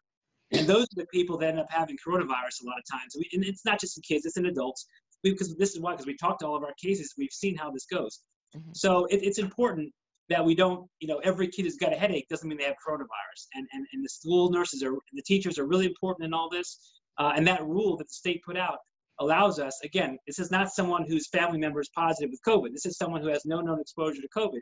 Um, it allows those kids to come back 24 hours after re- uh, resolving their fever or symptom that they had. hmm hmm You mentioned that during lunch that our kids would need to um, that they would be able to take off their mask as long as they're socially distant, and, and obviously we're going to be doing that in the classroom. Uh, there's some concerns around that. Uh, someone mentioned they said I know that kids need help with certain things at lunchtime, messes that are made naturally while eating. No one will have a mask on, and we won't be spread out as we would be in a cafeteria. What do you suggest to teachers and staff helping in monitoring lunch in a classroom that would keep everyone safe and healthy? Yeah, it's a great question. I, I wish I had the exact answer for you on that. Um, obviously, you know, whatever teacher is going to be within six feet of the chil- children, they have to put their PPE back on. They put their mask on. Uh, you know, and I agree. In, in the first, second, third grade, there's maybe some issues. People spill things, they do things because we've never really ate much in our classroom. So it'll be new for everybody. Um, and and hopefully, once the kids get used to being hopefully as independent as possible, you know, opening their own lunchbox, doing the things they normally do, over time, the teachers won't have to approach them as much during those breaks. But I understand it's a good question. Mm-hmm. His most important thing is when the teacher goes to help a child out, they have to be wearing their mask. And we can actually ask the child briefly, hey, put your face shield back on, put your mask back on while the teacher comes to help. So they're both are masked during that interaction, uh, while they're helping clean up the mess or whatever situation happens. But we do want, you know, whenever the students are coming close together, face to face with the teacher or others, they should both put their mask back on, even if it's just for, a, you know, just for 20 seconds to, to fix whatever the problem is and then take it off. Uh, and that's one advantage to a face shield I think of. You, you can actually sift through a straw wearing your face shield, but um, you know, during class. But I agree. I mean, it's, it's a good question, and I appreciate the teachers being concerned. But I believe that the most important thing is when they do help, that Mhm. puts mask back on the child, and the teachers keep their mask on while you know helping whatever they're doing. That's a good idea. Shields during lunch. Hmm. maybe. Um, that might be a little difficult, but maybe it's a good idea. So, uh, so some teachers, especially elementary school teachers that I'm talking to that have younger ones, they're constantly, you know, when the, when kids get back to school, they're sad. They miss their mom and dad. They're crying. Teachers are so used to hugging and comforting kids. They're used to bending over and helping them learn how to use a pencil for the first time. Sure. So that's going to change, obviously, to some extent with the new model. But do you think that if a teacher were to briefly interact with a child and both people are wearing a mask, what level of risk do you think would be involved in that interaction? remember, as I said earlier, when both people are wearing masks, you know, it, it's got to be, it's got to be, it's, it's, it's the extended period of time. It's that 15 minutes, close face-to-face contact for 15 minutes. That's what the CDC uh, calls a close exposure. Now, again, if, if, if a child is sobbing, crying, and they end up, you know, hugging the child, you know, that's a, that's a high risk exposure. But if, if everyone's wearing a mask, obviously you're, you're reducing the risk. Um, you know, I can't say that every that nothing nothing I can say will reduce all risk in a classroom. Uh, and I know our teachers want to help. I mean, this is why they're teachers because they care about the kids. Uh, and I know they feel strongly that sometimes you're going to have a young child crying in the classroom. And I think you do your best. Um, it, it feels cold almost to say, I'm going to comfort you, but I'm wearing my mask and my face shield while I'm comforting you, right? It, it feels a little cold, but um, I think that for right now, uh, you know, it, it's, it's, it's, it, it probably has to happen. The teachers have to feel comfortable, you know, helping kids out. The, the kids may be crying wearing a mask or a face shield. Um, and that's and that's one advantage. Though, if you get tears inside of a face shield, you can we can take it off, we can wash it off, right? That's one advantage. But I, I agree. It, it, these are these are really good questions. These are not questions that I have answers to from a public health perspective. But I can tell you though that they have to just focus on keeping themselves safe, keeping their PPE on as much as they want to take it off, as much as they want to give the kids a hug. Um, focus on you know, what can I do to reduce the, the risk of, of transmission, and um, you know putting a hand on a child's shoulder. Maybe there's things that they can do um, but again, it's I, I don't have all the answers, and it's not going to be easy. No question about it. Sure, sure. Busing. Someone did ask this, but I don't know that this is what we're recommending that students sit directly next to each other on a school bus, unless they're in the same household, right? Two, two per seat is what we're rec- is what we said we would accept. What is Right. your recommendation on that, Dr. Damsker? Yeah, it, it- the most important thing, uh, you know, is if, if, if you have two people on a seat, and it doesn't quite give you the three feet. You are within. Most likely, they'll be a little bit closer than three feet. I haven't measured. Um, you know, it depends on the size of the kids. If you have two high school kids, they can't be as far away as you know two first grade kids. They can space a little bit better. Uh, but obviously, really important on a bus, and, and the, the buses that I've been on anyway, you know, all the windows can crack and open, and getting that ventilation going in that bus is really, really important. So if we have good ventilation on a bus, we have um, um, the kids all masked at all times, uh, and, and it's a, it's, a, it's a distinct short period of time. You know, it could be 15, 20 minutes. It's hard to know because every route's different. I know the school districts, at least some of them anyway, are trying to minimize the length of time the kids are on buses. They're adding routes. They're doing different things to minimize the number of children on a bus. Um, but if kids are wearing masks, this is a short, defined period of time. You're increasing the ventilation as much as possible. Have, like you said, have siblings sit next to each other whenever possible. It's not always possible. You know, that's what we can do to minimize. Um, you know, because the idea that we could put, you know, one child per row or every other row, I don't think any school district in, in Bucks County could adequately bus the kids to school either. So th- this is an essential service. You know, uh, some parents, thankfully, are taking their kids to school. I know that the school districts have put out surveys, and there's a lot of parents that have decided, well, you know what, I can take my kids to school. I'll do that, and that'll help lower the, the density on the buses. And we're hoping that will help enough in Quakertown and other places. Um, but again, this is these are these are short um, these are short defined spaces of, of time, uh, and and you know they, they go as close to three feet as they can. Um, but wearing that mask is the key part of that. Some people are asking about screening, and I know I, I believe that the recommendation is is not that we do that. And so let the public know why that is the recommendation. What's the thought behind that? Yeah, well, first I can tell you start with temperature screening. Is that we know because I got that question all the time. Yeah, temperature in- screening. Yeah, in in the in the in the is that what you is it symptom screen or Yes. temp- yes temperature. Temperature screening. Sorry. Yeah. Okay. Yeah, because we do want a symptom screen, right? We still want to screen, but yeah. Yes. Okay. But but temperature screening is is, is it, we've seen it. And this goes in, even in, in children and adults to a large degree. That the majority of people either don't ever have a fever with coronavirus, or if they do have a fever, they've had multiple other symptoms uh, before they got that fever. So they're gonna they're gonna have a loss of taste and smell, and the runny nose, and the headache, uh, and the cough or whatever. then they get a fever, often longer into their into their disease. And, and a lot of people literally never have a fever. They have a normal temperature the entire time they're sick with coronavirus. So um, it's a, it's sort of a, a two pronged problem. Number one, it, it, it gives you a false sense of security uh, because you say, oh, little Johnny doesn't have temperature today. He must not have COVID. And in reality, we know that that's not a good way of screening. And the second thing is obviously, if you have 500 kids in a school, you know, having them somehow be temperature screened when you're trying to get them in, that actually causes, you know, a social distancing issue when they're all crowded around the front of the school trying to get in. Um, so it's not something that we found to be uh, recommended. Uh, I believe the CDC and the State Department of Health also don't recommend it. Um, so um, I think that we're doing the right thing here in, in Quakertown by not doing temperature screening of students and staff.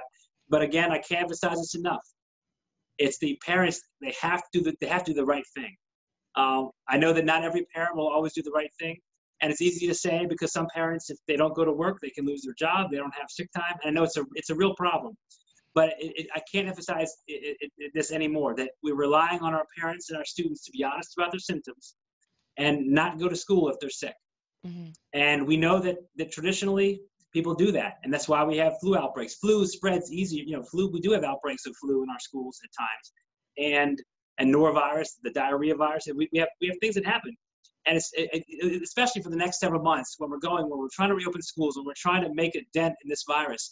Um, people have to be take this extremely seriously and say, look, I know my I know my son's not feeling well, but he's he's got a test today or he's got whatever. You know, this is where the virtual model could potentially be helpful. Again, every school district is different in how they're doing it, but we think it's really important that, that just don't send your kids to school sick.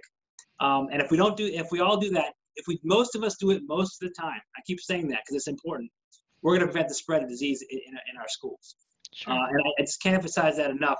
I know it's not easy. It's something that we traditionally haven't done.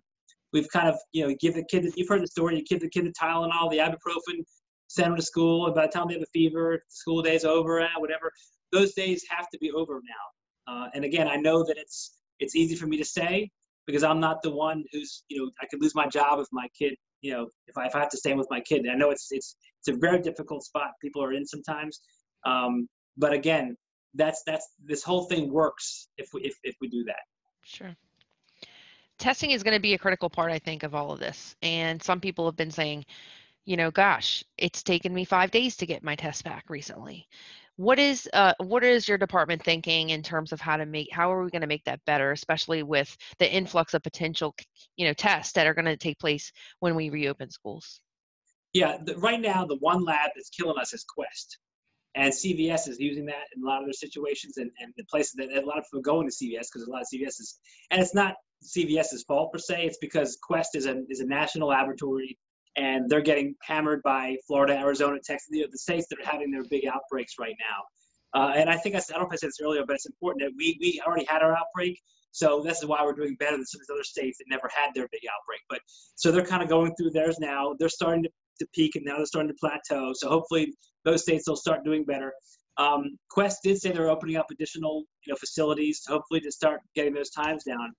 Uh, but it doesn't do any good if I go get tested uh, on June, if I go get tested on July 1st, and my test doesn't come back till July 15th, I'm already, I've already done my 10 days of isolation. I'm already clear before my test even came back, right? Even if I had coronavirus. So it doesn't do a lot of good. It makes contact tracing more difficult. So what I'm going to try to do is, and this is, it doesn't help Quakertown as much, but I'm working with, there's a lab in the lower end of the county uh, near Oxford Valley Mall.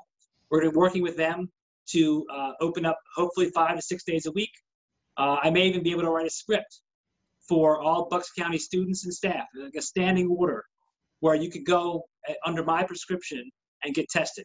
Mhm. Um, and again, that it, it may not help you as much if it's next to Oxford Valley Mall, but we're working with this. We want to have an ability for these schools to have quick turnaround testing because you're right. There, there, there's a real concern with Quest, and Quest is one of the largest labs in the country. But LabCorp is doing better. Um, just today, we had multiple results back where people were tested on the 27th. So that's really just two days.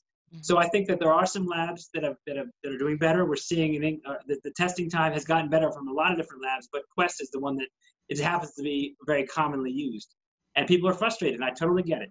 But I'm also going to work with. I'm going to try to find a location at the upper part of the county that will help our school districts up there. That we can do something similar, where it can't be everybody. It can't be for all the families too, but it could be for the actual staff and or the students that could able to, to, to get a test with a quick turnaround. Uh, and I'm working through that. It may not, it's not as easy as it sounds because a lot of primary care doctors won't even give you a script unless you have symptoms. And, there, and, and, and this wouldn't be for people just to get random tests because they feel like it. There, there should be a reason why. We're not, we're not saying just, you know, every day I'm gonna go get a test today. It's gotta be for people that have a real reason to go. And we can get into the details of that procedure, you know, as we get forward. But I am working on that. Um, again, I know it's a problem. And there's nothing worse than getting a test back two weeks after you were tested because you've already been home for the entire 10 days. You're already over coronavirus. And you, we may, you know, it, it doesn't do anybody any good. So Sure. we understand it's a problem and we are working on that. Great, great. It's about 7:30 almost, and I haven't. I apologize to to the rest of the public. There's still a couple of questions left, but at this time, I do feel like it's fair. I know some board members probably. I don't want to keep you past eight o'clock at all. You committed an hour, and I'm kind of stealing two here. So, um, so anyway, I just wanted to open it up to other board members. We did cover a lot of information, but I'm sure that they might directly want to ask you a question or two. So, I will open up the floor to board members who want to ask some questions. I got I got a quick one because I, I I've spoke to Dave or Dr. Damsker a few times uh, leading up to this, and I was part of the tour on Monday, so a lot of my questions were answered then. But the one thing I, I did want to uh, have him speak a little more on is when we were um, staging these rooms, and it, it looks really promising that we would be able to achieve getting most of our students back at four and a half to five foot of spacing. And that's with, you know, we were basically not even counting any virtual students. We were taking the full enrollment from last year's classes and still getting four and a half to five feet of spacing. So you would feel comfortable having us send our kids back with four and a half foot to five foot of spacing if they stayed masked. And even if we did achieve six foot, try to keep them masked anyway um, just to help to prevent the the spread of the disease any further. Correct. You know, and, and the governor's order does require that even if you are six feet apart, you're supposed to remain masked except for the mask breaks or, or eating lunch. And again, the mask breaks, that's up to the school district to figure that out, how long they are. But the six feet's important, right? This Once you're six feet away, the vast majority of droplets go at three. There's a few more that go to six. Um, and, and, and that, that is a safe way of, of being. And, and um, you know, I think it's important. There's a picture, I think, of some of us sitting at the chairs. Yeah, Caitlin know, got those it- pictures. That's why I was. I was and I think it's great if you can put one of those up. She she said she texted me one. I think it was great. Um, You know, and these are adults sitting in chairs that are made for for much smaller kids. And if and I think if the average person looked at, at this picture, it, it, the distance actually looks reasonable. Uh, I certainly would feel comfortable, you know, being in a situation like that. I know I, I certainly I would feel comfortable putting, you know, my children in a situation like that. Uh, it does far exceed 'cause- because the difference is people are thinking three feet. It's if you do three feet from a desk edge to desk edge, remember that gives you the additional space um, to the middle of that desk where the child's actually sitting. The child's not sitting at the edge of the desk; they're sitting at the middle of the desk. So that's why the three foot desk edge to desk edge becomes four and a half feet, or even longer, depending on how big the desk is.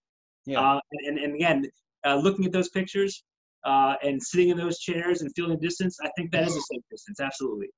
Yeah. So four and a half to five feet. If we could achieve that across the district, I felt comfortable seeing that much more than I did when we tried the desk at three feet center to center. It, it definitely did look tight, but you know, certainly at five feet and at six feet, it, it, would even be better if we could reach that. Yeah, and I think if we, we we actually moved the desks at one point six feet desk edge to desk edge, and I think you could fit like three people in the classroom. You know, it, it was almost that's actually closer to like eight feet, you know, seven and a half, eight feet if you do six foot edge to edge. Um, but I do believe that you know the four and a half, five feet, it's clearly over the floor minimum that we that we've that we've allowed, uh, and it's it's pretty darn close to the six feet. Uh, and again, six feet's okay. People are throughout the country when they're six feet apart, they're removing their masks in meetings and other places. Um, you know, the governor's order here in Pennsylvania says to keep it on inside all the time. This is what we'll do. But um, you know, you're getting pretty close to that six foot distance, and I believe uh, that that you can you can open up safely when everyone's keeping their masks on at all times when you're within that six feet. Well, we have some teachers and and other people that have been saying, you know, anything below six feet is just unsafe. So you're refuting that then. Well, I am. And, and if you talk to the CDC, you talk to the, the state of Pennsylvania, they will say that you do the best you can to reach it. but no one is saying that if you go, you know, a foot below six feet, everyone's going to get sick. No one's saying that. Uh, I think that's important to remember that, that, that the guidance has been very clear. Um, you know, I, I believe that you know, the CDC said that again recently that you know don't get hung up on the six feet. It's you for you go as close as you can to it, and you follow the other guidelines: sanitation, masking, and social distancing, all in combination, is what we're looking at here. It's not just one thing. I, I don't want anyone to get hung up on that one particular thing. Yeah. Can, can I interject here? If it's under six feet, doctor, um, does that mean that you need to stay masked? My understanding is that the rec- recommend, recommendation is to wear mask at all times. Correct. If you're under six feet, you must remain masked. That's correct. Dr. Damsker, uh, do you have a sense for any kind of metrics about number of cases that might be concurrent in our school district or, you know, in our staff and kids that would raise your alarm bells and conversely, any kind of, hey, look, nothing's happened for six months. Maybe we can relax. Like, have, you studied or come up with any of those kind of guidelines yet? Well, I think what we can say is, uh, again, what, what worries me, I, th- I think I mentioned this earlier, is if we start seeing spread in the school, not from outside of the party, not from a teacher getting it from their wife, but from an actual spread within the school. And we'll and we have to look at why did that happen? And if we can figure out what happened, okay, maybe a bunch of kids didn't wear their masks or shared a drink or something they shouldn't have done, or was it just, you know, it's starting to spread in schools? And we don't think that'll happen, but we, we're always we're always looking for that. This is why we're doing the investigations to see what's going to happen. Now, there's a, a lot of the countries in Europe. They some of them started off doing different things. You know, I know uh, Denmark, for instance, started off doing six feet. Then they realized that there wasn't any problems. They went down to three feet. Uh, and then they some of the some of the schools in Europe are going to open up with no masking in three feet. So you know, the, the, I think, but it takes sometimes it takes a month or two to go. And I, I agree. We'll be looking at that all across any every school district that has in-person teaching, whether it's full in-person, whether it's a hybrid model. We're going to be monitoring this extremely closely. We're spending a lot of time on schools because we kind of know the data now. We know what's going on in other places. So we have, I, I'm going to have some nurses and myself. We're going to be focusing a lot of our attention and energy on our schools and monitoring things. And if we see, hey, we're not seeing any spread in schools, and I'm seeing, I'm sure the state will also notice that, you know, statewide, because I can't override the governor's order.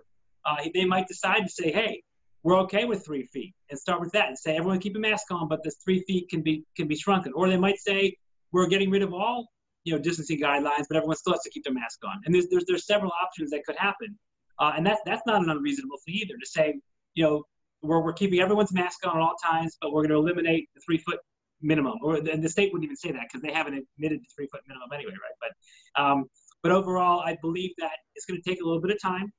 Uh, we're going to see, hopefully, that if we're all following the rules and following what we're supposed to do, that we're not going to see transmission in schools. Can't say it won't ever happen. Uh, again, I never say it, never in medicine, because as soon as you say it never happens, it happens. Uh, but but we do feel comfortable, um, given everything that's happened in other places, uh, that if we do all these techniques, we can keep the the intra intra school spread down. Got it. Yeah, thank you. Sure. Uh, Doctor, I have to interject here and ask a question because a, a lot of comparisons are made to the studies in Europe. But um, our situation here locally, I agree, is is pretty decent. But as a country, wouldn't you agree that we cannot be compared to Europe as far as how the COVID virus has been contained there compared to here? Yeah, I, In I- I- other I words, uh, you know, Yeah. people could travel to Florida and bring it back, and that's a real concern I have. Um, that we don't have the, we're, we can't can be compared to Europe completely because our situation is totally different as a nation. Would you agree with that? I, yeah, I certainly would agree with most of what you said. Um, I do think though that if you if you have kids that are sitting six feet apart uh, with masks on, um, you know whether you're in Florida or Pennsylvania or you know the, the idea of spreading in that classroom should be the same. Yes, I agree with you totally that you may be introducing more virus to that school if you're in a high prevalence situation. There's no question about it. And we are lucky, uh, and I say lucky in quotes, but we did have our spike earlier, and we're, we're, we're one of the states that hasn't had a big uptick. Uh, and so, so you're right. We do have a different prevalence than than other states do. But the the overall idea behind keeping people apart and masking in a school situation should be successful um, you know, hopefully regardless of what the, the prevalence is. So I hope that makes sense what I'm saying. It's, it's the, the techniques that we're doing. You know, if you have if you have a student that comes to school who may just have a runny nose, they shouldn't be in school anyway. But if they are in school, the runny nose, if they're all wearing masks and they're sanitizing their hands and they're remaining apart from their students, we shouldn't see spread. So I, totally understand what you're saying. But Europe, you know, they did, you know, they did have cases in Europe. Um, it, I can't, obviously, the United States is the worst country in the world right now. There's no question about it, you know, from numbers of cases. But, um, you know, countries were able to continue to open, you know, whether it's Sweden or other countries that did have cases, uh, and they were, they were able to keep their schools open utilizing some of these same techniques. Um, and and um, so I hope that makes a little bit of sense. I'm, I'm not saying that we're the same as Europe, of course not, but some of the same techniques that we're, we're starting off pretty strict with good social distancing, full masking, uh, and as I said earlier, that we're hoping that over time um, we'll be able to see the effects of that and, and hopefully be able to reduce those things. But I'm definitely not saying that we're the same as as, as Denmark today, of course. But we do see the trends in those countries that as the cases go down, and the, the cases in, in, in our state have gone down, and we're hoping that Florida, Arizona, California, they are, their peak is already starting to you know level off and, and, and plateau and hopefully they'll all be doing what we're doing here and, and, and the governors there will all require universal masking if they haven't already they have in some states uh, and get it back down to sort of where we are now so they'll feel comfortable going back with some of the same guides that we're using here So masking is really important, isn't it? Because I've Absolutely. been receiving emails from members of this community uh, because I made uh, comments about masking um, a couple weeks ago at a board meeting, and I've received some pretty nasty emails from people um, who are anti-maskers, frankly. Um, and we know where they get that from. Um, and um, I want to hear you say, as the expert, how important masking is, and that these kids need to be masked. During school. I, I agree with you. I, I do. I believe that children should be masked. The evidence isn't great in the smallest kids, and we went over that earlier. That's why hopefully maybe a face shield's better for those because, as I said, it's, it is difficult to have a first, second, third grader wear a face mask the entire day. It's hot and uncomfortable. That's why one of the reasons we offered the face shields. But I agree with you um, that masking, especially in the older kids, no question about it, that they need to be wearing a mask when they're within six feet at all times. Uh, and I think that for everyone's, you know, it, it, it, even even if someone doesn't believe that a mask is doing everything, is doing anything, from a from a I guess from a perspective of someone to say, hey, look, you know, we're doing this to help everyone here, and you, you, we're we're a team. Uh, and I said I, I don't love wearing a mask eight hours. I don't know anyone who loves wearing a mask eight hours a day, but we do know that when you're talking, sneezing, coughing, and the droplets go into that face shield or that face mask, that helps reduce the spread. Uh, and, and I think that children in school at this point, you know, should be wearing masks or face shield, whatever that whatever that they, they, they choose. And I'm saying it right now. I believe that, especially you know, now that, that, that we need to see, um, we we have a level of, of cases that we can do this. I think we can go back to school safely, but that safety now includes masking. You can't Thank tell you. that I- Jenny's a, an attorney at all, right? Jenny, Yeah, you're leading you the witness. No, I, totally I am, but I really wanted the community to hear that because I have received personal emails whose names will mention, remain unmentioned um, that have been ridiculously vitriolic and have a very political agenda, frankly, um, about masking. And it's every doctor I've represented or epidemiologist I've talked to in my practice has told me how important it- masking is. And I wear a mask eight hours a day now at work too. I, I And I wanted to bring, whoops. Go ahead, Sarah. I'm done. Okay, I wanted to bring up one more thing real quick, and Wait, then I'm going to bef- mute. before you go, rest of the I was gonna say before Chris, you already gotten a chance, one chance. Let me see if it. If we get let me see if someone- end, I'll ask it. yes. All right. Is anybody who hasn't asked Dr. Damsker a question, would they like to ask any questions? Yeah, actually, I had a question. Uh, Dr. Damsker, you earlier mentioned that, uh, or, or went through a scenario where people shouldn't go over to their friend's house, I think you called him Bob, uh, and, you know, get closer than the six feet. Uh, they should be smart about doing that. It it increases the risk. But then when Chris asked you about the three, four and a half, and five feet, you were okay with sending kids back into those situations. Can you talk about the, uh, uh, the distinction there because that sounds like it's contradicting itself to me. I'm not sure if I understand. Yeah, yeah. First of all, you know, in a school structure situation, the kids are wearing masks. We just talked about that. You know, uh, and you're, you're in a structured situation. You're being monitored by teachers. You're being, you know, so that that that's a huge difference between you know a friend going to his house and and and, and sitting next to each other.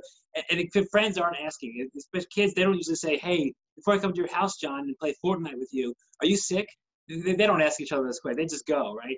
So I believe that the structured nature of the of the school, um, being in a classroom with a teacher enforcing it, uh, and and kids wearing masks, I think is a different situation than someone going to a party, sitting around, you know, drinking or whatever they're doing, playing games, and not paying attention to other people's symptoms. Uh, you know, sharing drinks, all the kind of stuff that people can do without masks on. And most times, people don't go to each other's house with masks on. They just don't, right? You don't go to your friend's house with masks on. So I think there is there is a difference, and hopefully that made a little sense. So basically, it, it again comes down to masks. You won't go to your friend's house without a mask, even if you stay six feet apart. But you'll go to school as long as you have the mask on. You're okay. Did I understand it right? yeah, if you're asking whether a mask makes a difference, it does. Yes. No, yeah, I knew that, but that's not what I was trying to. But I, I, I think I think that to clarify your point though, Brian, is is is if you're if you're outside of the six foot, you know, theoretically you probably wouldn't need a mask, right? Sure, yeah. I mean, if you're if you're outside and you're six feet apart, theoretically you wouldn't need a mask. But you don't. you Come together, your your your spread is higher, and and and that's Right. where the mass barrier comes in on both the the person who's potentially sick and the person who doesn't want to get sick. Yeah, I, I just want to make sure. If, if I didn't answer your question, please ask me. Please ask me again. I, I, No, I, I, I think you, sure. I think you did. Um, like I said, it just seemed like there was a, uh, a contradiction in what you were saying earlier compared to what you said to, in response to Chris's answer. Or, I'm sorry, Chris's question.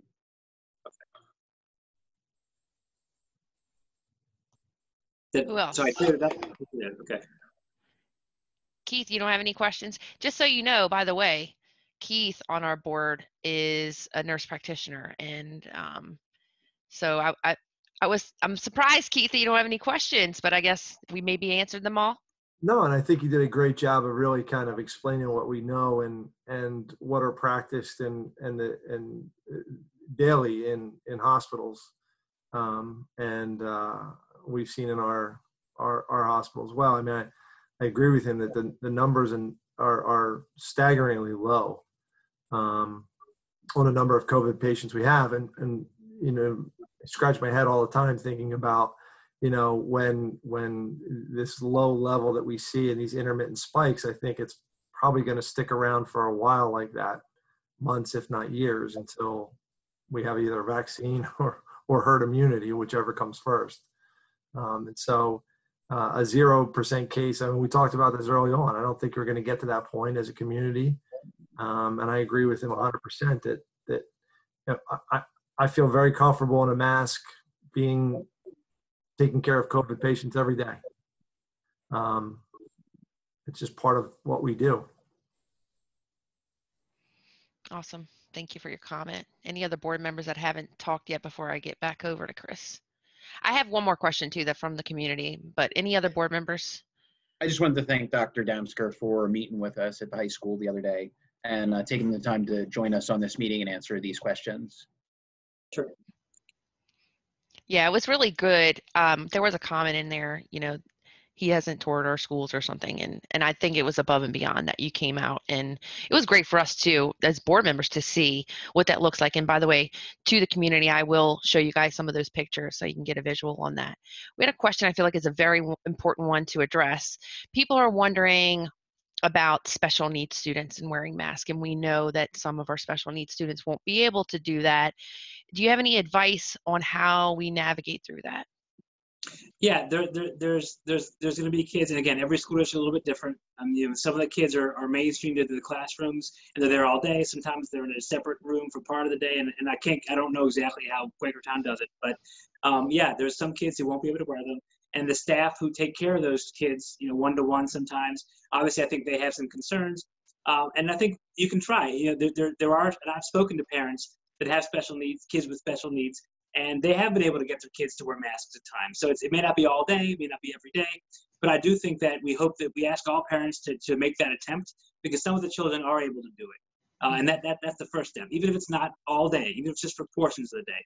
Uh, I think that obviously that the aides need to be to be to be careful.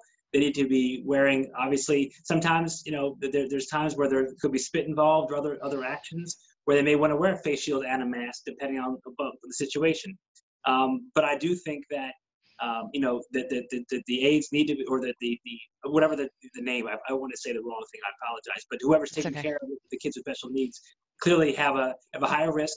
But as we said earlier, you know, our overall prevalence here is low in the Quakertown School District. So the chances of one of those children with special needs having coronavirus is, is, is very low.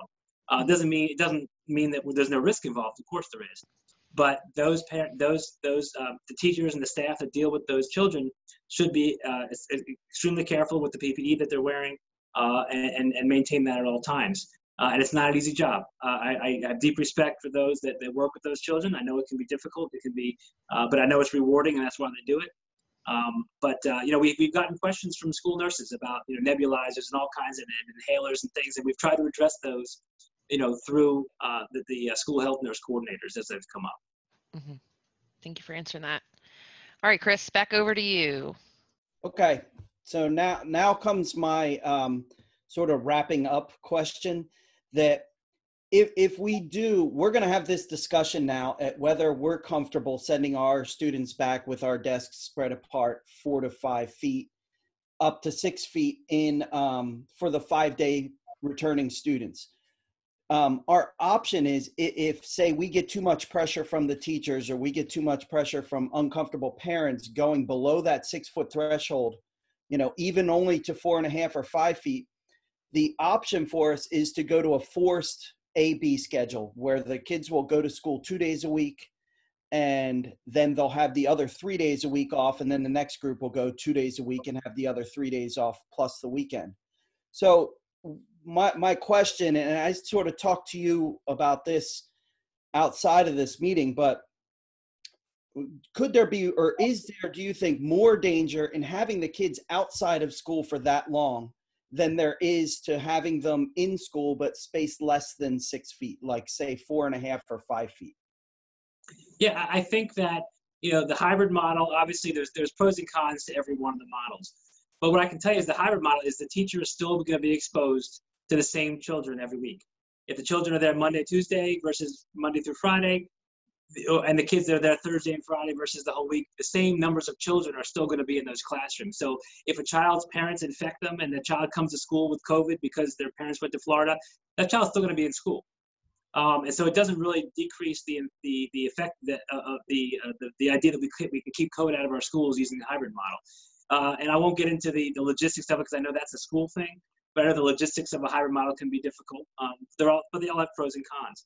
I think it's important though that you know wearing a mask at four and a half feet uh, is still a very effective way of, of, of stopping spread.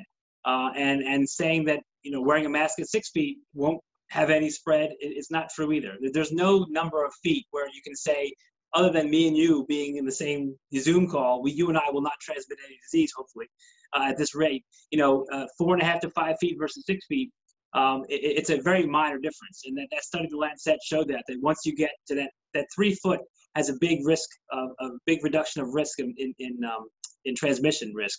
And then it gets a little bit better as you, each meter goes out. But, but the idea though that you're, you, the, whether you're five feet or six feet and wearing masks all day, um, I don't believe that, that there's much of a difference uh, in risk of spreading between children and children that are wearing masks. Uh, and, and, I know, uh, again, keeping kids out of school two days a week versus you know the five days, those kids are still going to be in that school regardless of whether it's two days or five days. So if a kid has COVID from home, they're still coming to school, uh, and, and, it doesn't really have much of an impact on that at all. So, um, you know, the six feet versus five feet, it's very difficult to say if there's if there's any you know minor or, or small difference in, in the infection risk difference. Well, it's the amount of time they're outside of the school then too that will be increased. So wouldn't they potentially be bringing in more potential virus because they'll have more time to go over to their friend's house and play Fortnite or you know go to the park and share a vape or you know whatever kids do that puts them in danger these days. I agree 100%. You know, being inside of a school in a structured environment, um, you know, you, you know what they're doing, you know where they are. They're being monitored all day.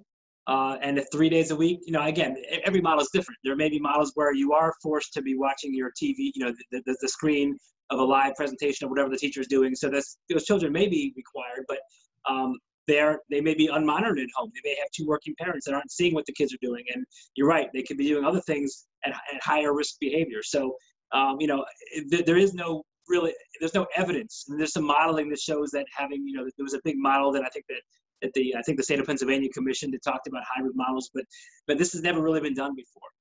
Um, and and I believe that there's definitely some disadvantages of the hybrid model versus the in-person model. But every every everything has its pros and cons, and obviously you guys have to talk through those. But you know, from a perspective of keeping COVID out of schools, um, those same kids are coming into school whether it's two days or five days. Thank you. Sure. I'm sorry, but doesn't that mean though that if there's, if we're using the AB model, wouldn't that limit the number of people in the classroom at any one time, which would then limit the risk to those people? Uh, and then ideally, we're supposed to be cleaning the rooms after every day, so the people that are coming in would, would have an even less risk. Is, is, am I under, misunderstanding that? No, no, I'm saying that. No, I understand what you're saying about people and, and more exposure outside, but if they're coming into the school on an AB schedule, then there's only 15 people in the classroom as opposed to, let's say, 22, 25, or even less. Maybe there's 12 in the classroom, whatever it might be. Uh, so now they're only risking those 12 uh, to whatever potential exposure they might have, uh, as opposed to uh, you know, a full day where where there might be more students in the classroom and they would be exposing more. That that seems to me to be the benefit of the AB model. I agree with you. The AB model is terrible on so many levels uh, and things like that, but it does seem to have some benefits to me, and I'm not sure where that comes in. Well, I would say that yeah, if you have a room with five people uh, versus a room with 25 people, obviously there's that cohort is smaller.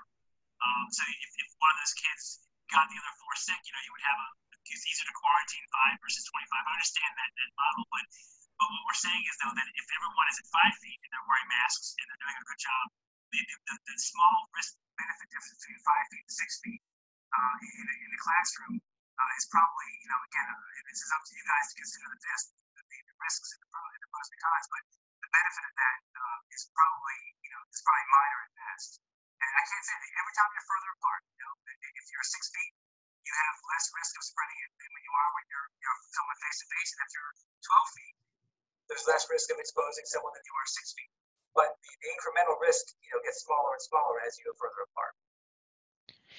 All right, let's, uh, Dr. Damsker, we're going to get one more question from uh, another board member, Ron Jackson. Sir, would you like to ask a question? Dr. Damsker, um, up here, I think we've laid out pretty clearly that we're one of the outliers and we don't have a lot of cases out here in, in Quakertown area. Um, I think we've done a good job of showing what the risks are and that I think we're properly mitigating them. But some of the other school districts in the area are actually starting virtual and then gonna take it a little, you know, a wait and see approach. Is there any benefit to that? Because I'm trying to figure out why they would waste their time. That's just my opinion. Why bother? Is there any benefit to that? Um, I mean, certainly, you know, they they've decided that they, uh, you know, it, it could be for multiple reasons. It could be because they they have trouble fitting the kids in, you know, whatever the spacing is in individual schools. There's some schools that just have they literally can't even do three feet really in some of the schools, and and they've made the decision that for now they're going to see how it goes with the virtual or hybrid model because it helps with the spacing. Um, some, you know, most of the school districts uh, I believe there's only one in Bucks County that's opened up with a full virtual for the first couple of weeks. I believe that's Council Rock, um, and they're going to move to a virtual or a hybrid choice, you know, as they go. Uh, but they've made the decision. Their board made the decision that they don't that they want to see how it goes in Quakertown or in the other school districts that have voted to have a full in-person model. Uh, you know, Central Bucks has the full in-person model for the elementary school, um, and that's the decision they made. Um, you know, I, I, I'm a believer. I wouldn't be sitting here telling you uh, that I thought it was unsafe, or I wouldn't be sitting here telling you that. And I believe that you can make the decision, uh, and the masking really does make a difference. I know that, I, I, and I apologize. The board member who asked me about the masking, um, I didn't, I forgot her name. I apologize. Jenny. Oh yeah, and, and, and you know, I obviously you know, I'm saying on this conference call that I believe masking works and that, that that's a huge part of this. And, um, you know, that I'm not sure why, you know, other than watching school districts across the country, you know, the, the, you know, Philadelphia just changed their model. Uh, and I'm not, I can't really tell you why. They went from a hybrid model to a virtual model. Uh, and there's some other school districts across the country that decided to do that. And part of that is because some of them have a higher prevalence. Part of them, some of it's because the school districts, um, you know, just didn't feel comfortable. They they they're they're they're um, spending a lot of time. Like I said, I don't I don't watch CNN. I said this before. My data that I get is from Bucks County. We have you know 6,400 cases now. We tra- we contact trace 96 to 90 percent, 97 percent. We can't get them all because they don't call us back. We have really good data here in Bucks County. We know what's going on. We know how the transmission is working, um, and uh, you know we feel comfortable making these recommendations.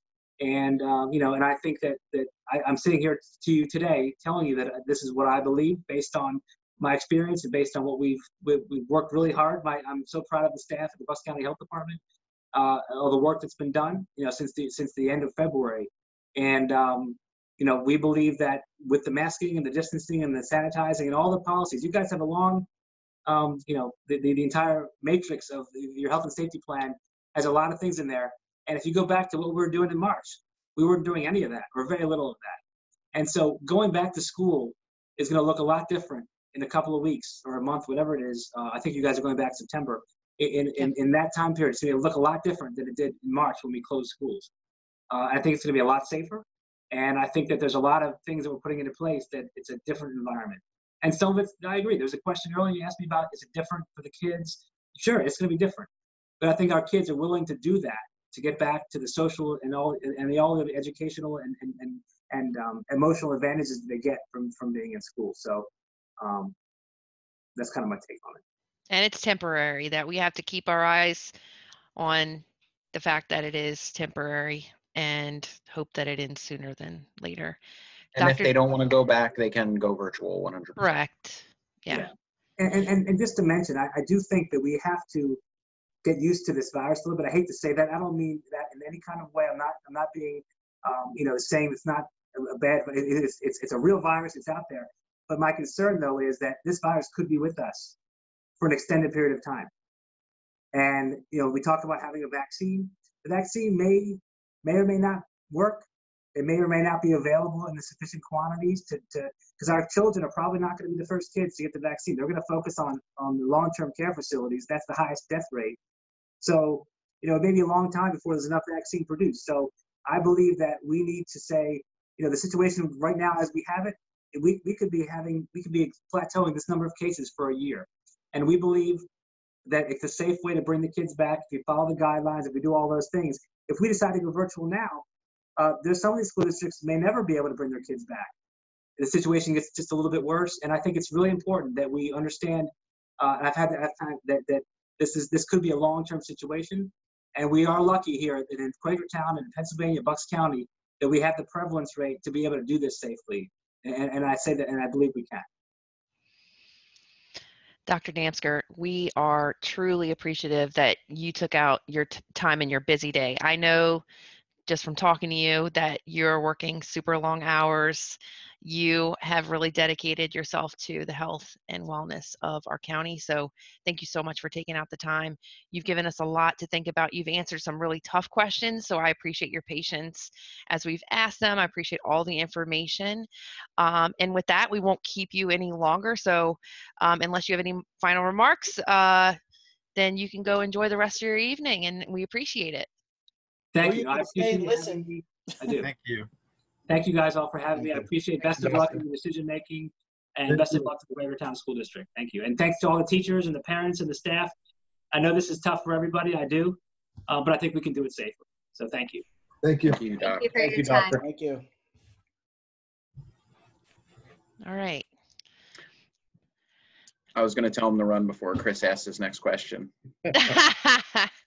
That's a fair point. That's a fair point. Um, I'm going to share my screen because I do want to show people um, some of these pictures. So bear with me here. You guys can see my screen, right? You guys can see it? Yeah, that's working. Uh, so, I guess, I guess we had to hold Chris back a few years. Oh my goodness, yes, we did. So as you can see, so this is six foot distancing, and and as you can see, like I, we all know that more distance is better. That that is clear. So this is just to give you an idea. I was actually pretty shocked by the how much of spacing it looked like with six feet. Um, but it, we're gonna have a couple more pictures in here. So now this was the three feet. This is where, you know, I didn't feel comfortable with that at all. You could tell just from the difference. It's such, it's staggering. So that where I have it circled there, that was three foot of distance. And, and I think we all agreed, no, that, that just, that looks really tight. It looks tighter than it would be in a normal classroom. This was our four and a half foot distancing. Why does my picture seem off here? Hold on. Sorry, guys. Why does it? seem a bit off. Okay, let's see if that's better. All right, so this was four and a half foot distancing. That gives you a little bit of an idea of how, how that looks. I'm gonna need some help on this one, Rob. Do you know if I can't, I- and Chris said, and I apologize ahead of time. This, I believe this was five foot of distance. This was the six when we first went in. At, Okay, Yeah, at five, I think we had almost all the desks in there. This yeah, is um, okay. This is So- Dr. Mr. Wien's room.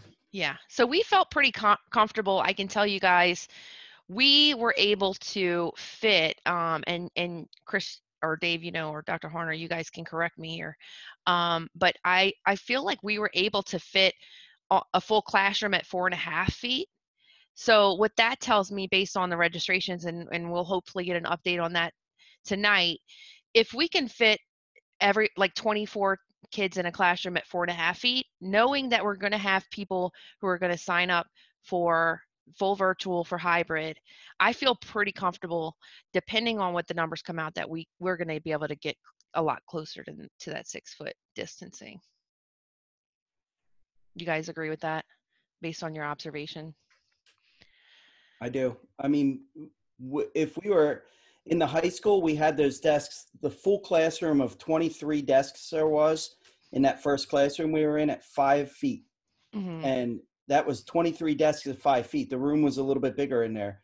And that was the full class from last year. So if, if you take 20% of those students out or, or 15% of those students out even, we, you know, that should give us the six feet that we needed. Now, I, I understand that, you know, just going off of percentages that sign up for virtual isn't necessarily going to equally take that many kids out of every classroom across the district that, you know, some, there may not be many kids that were taking uh, AP calculus or whatever class that want to go to uh, a hybrid or virtual. So we may not have, it may not be as balanced as as we would like, but I think we could make it work to get all of the kids that need to and want to get back the opportunity to get back. Yeah, and so my comment, because I did have a lot of, you know, my friends who are teachers reach out to me and say, oh, such and such is going virtual to start. Um, I do believe, just my personal opinion, they're just delaying the inevitable. I think they eventually all want to go back to some kind of in person classrooms. And maybe they do want to wait and see. Luckily, being where we are, I can tell you, I know schools in Alabama are starting up next week. So we will also get some time to see how school reopening goes because we have schools that are starting a little bit sooner than us.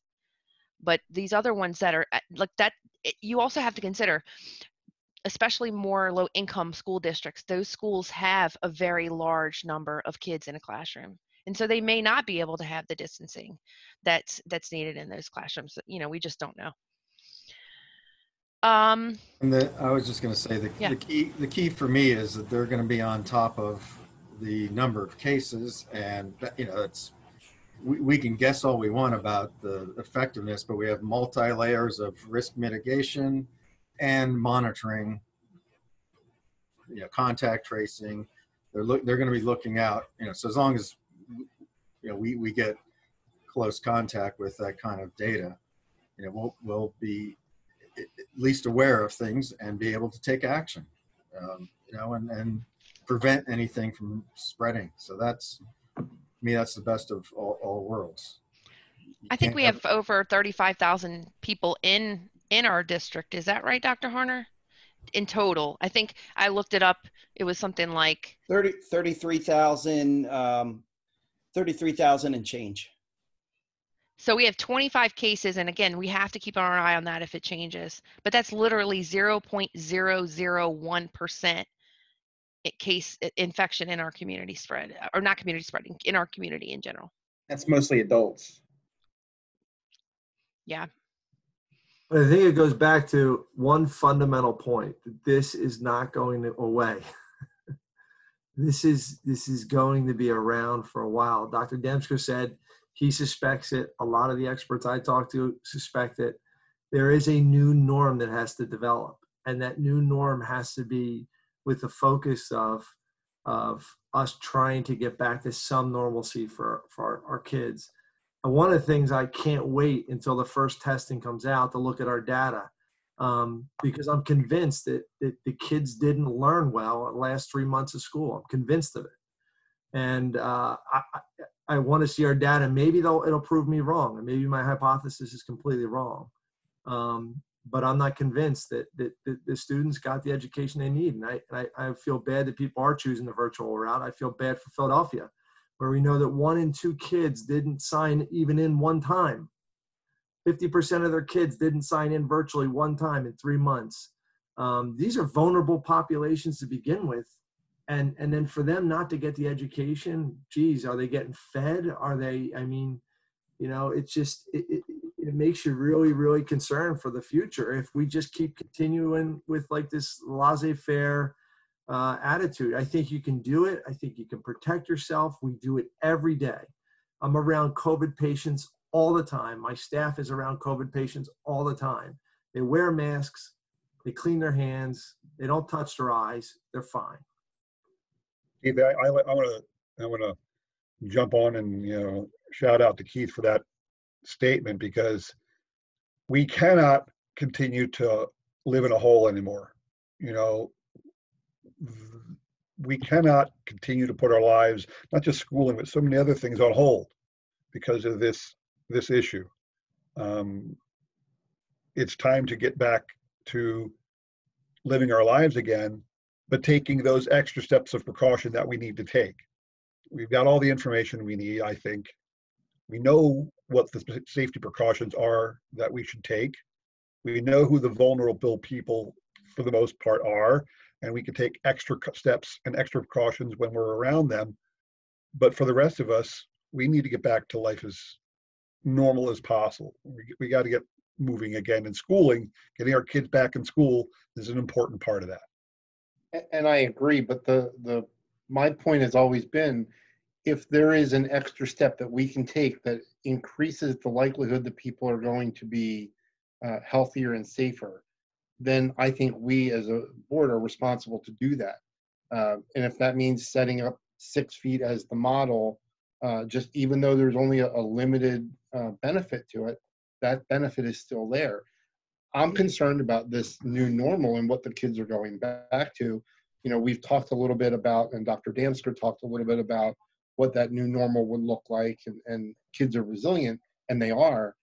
But if you have kindergartners or, or younger kids who are going into a school and it's so drastically different, they can't interact, they can't, they have to wear masks. It's a scary thing as it is. Now you're adding all of these other things onto it. I think that new normal uh, that we're talking about putting them back into uh, is just as scary as the situation we're in right now. So, you know, we talked about the benefits of mental health, but we have to provide for the benefits of physical health before we can really solidify the benefits of the mental health. You know, it just goes back to some some of the basic principles of uh, Maslow and and things like that. Um, Well, that's to my point, Brian. My point is that some of these kids aren't even getting the basic food.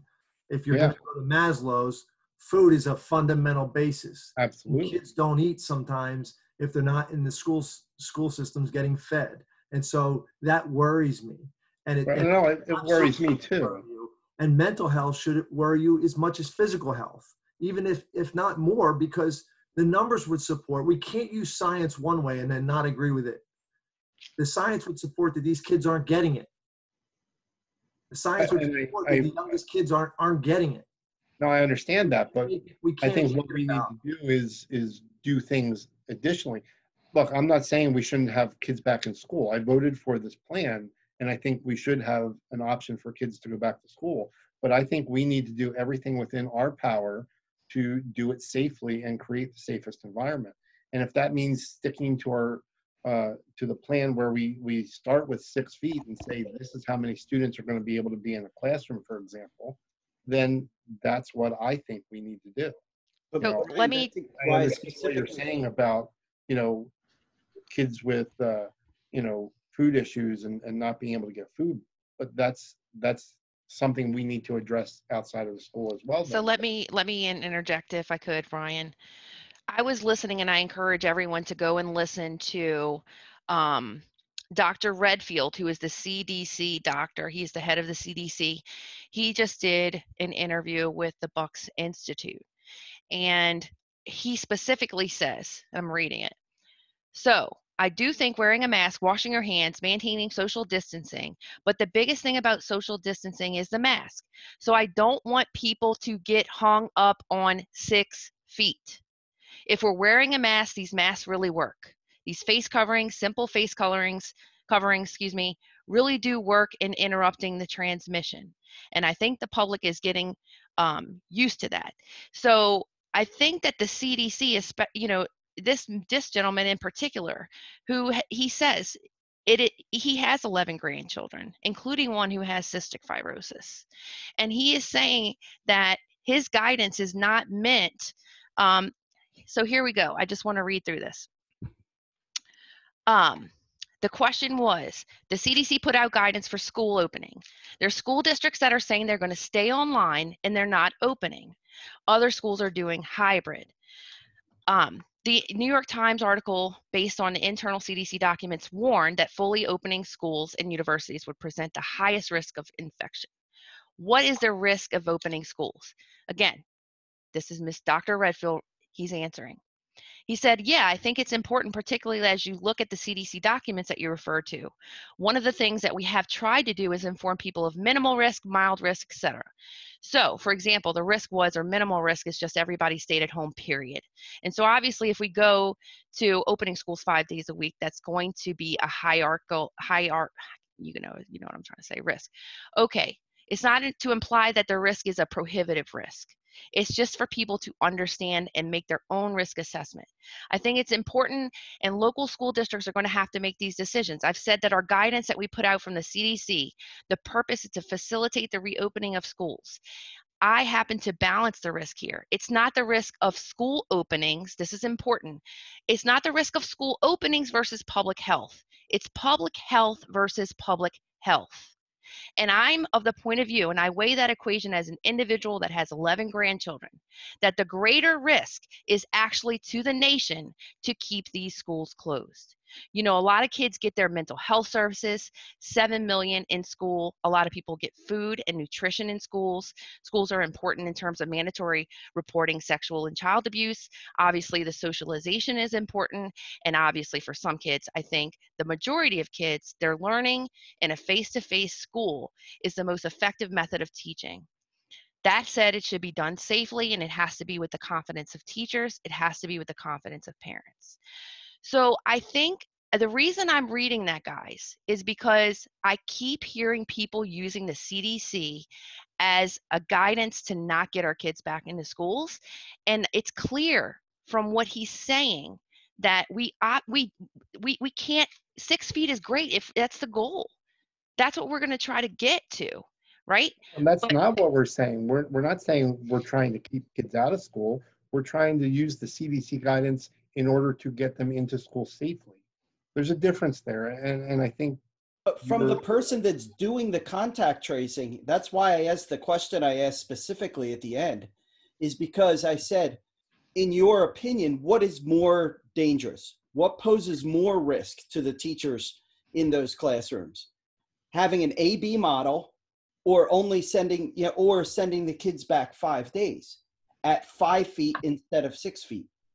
And he clearly said that the risk of five feet to six feet is minimal but the the same exposure, if not more, would come upon those teachers by having the kids outside of the school for the other three days a week. Chris, I don't mean to to disagree, and I, I really I appreciate Dr. Damsker coming in, and I, I respect the heck out of him. But this is a guy who wrote in a letter about two months ago that kids could be in a classroom three feet apart and they didn't have to wear masks. So, so I find his uh, guidance. I- I'm skeptical of his guidance. That is how a lot of European schools open. They, they some some did it completely without social distancing, without masks. So, yeah, there, there is precedent. So we're Yeah, they taking, also have fewer we're cases. taking extra precautions. I, I Is there something else, Brian, that you think we need to be doing? No, I, I think that we need to do everything that is in our power. You know, so I'm, I'm going to use social distance just as the example, but you know, if six feet is what the strictest recommendation is, then we need to set up the rooms, let's say, at six feet and say that's the number of students that can fit in this room. Despite the fact that the, the guidance from the doctor is clearly saying, Despite the fact, because as I just said to Chris, I don't know that I trust his guidance. I'm talking about the CDC, the head of the CDC is what I just read. He said, don't get hung up on the six foot distance, wear a mask, right? I'm not getting hung up on the six foot distance. I use that as an example. You are. You are. I'm are. not. You are. I'm, no, I'm not. Anyway, let's move on. I think, So, I think the bottom line is this. I think that you, you you have to take the science of this disease and say what we did on March 15th is completely different than what we're doing at the end of July. And it's been clear the evolution. I've seen the evolution. I've I've read it. I've lived it. And so I, I disagree with your statement from somebody who made a comment two months ago uh, and maybe changing it. And I disagree with the news media that does the same thing and the people that say, you know, when when when scientists change the way that they approach things uh, based on either new research or new literature that they're reading, or the more they find out about something, stuff changes. That's what we deal with daily. And so I, I'm sorry, I, I gotta I gotta believe it, one of the things that I've been steadfast is saying that we know social distancing works, we know masks work, and we know clean your hands work. We've known that about viruses forever. Forever. We're having this conversation today because of COVID. What we should have been doing is having it about influenza and common, you know, the common cold and parainfluenza and all the rest of the viruses that we deal with as a country every day. So what would we need to do for Dr. Harner and Nancy Ann and the task force to to help them with guidance on how we want to move forward? I mean, our plan doesn't really necessarily have to change. I mean, we were already saying we, we would go with the three foot of minimum spacing and we would keep the mask wearing even beyond six foot, correct, Dr. Harner? Do we need to ch- really change much or? No, not, not a thing.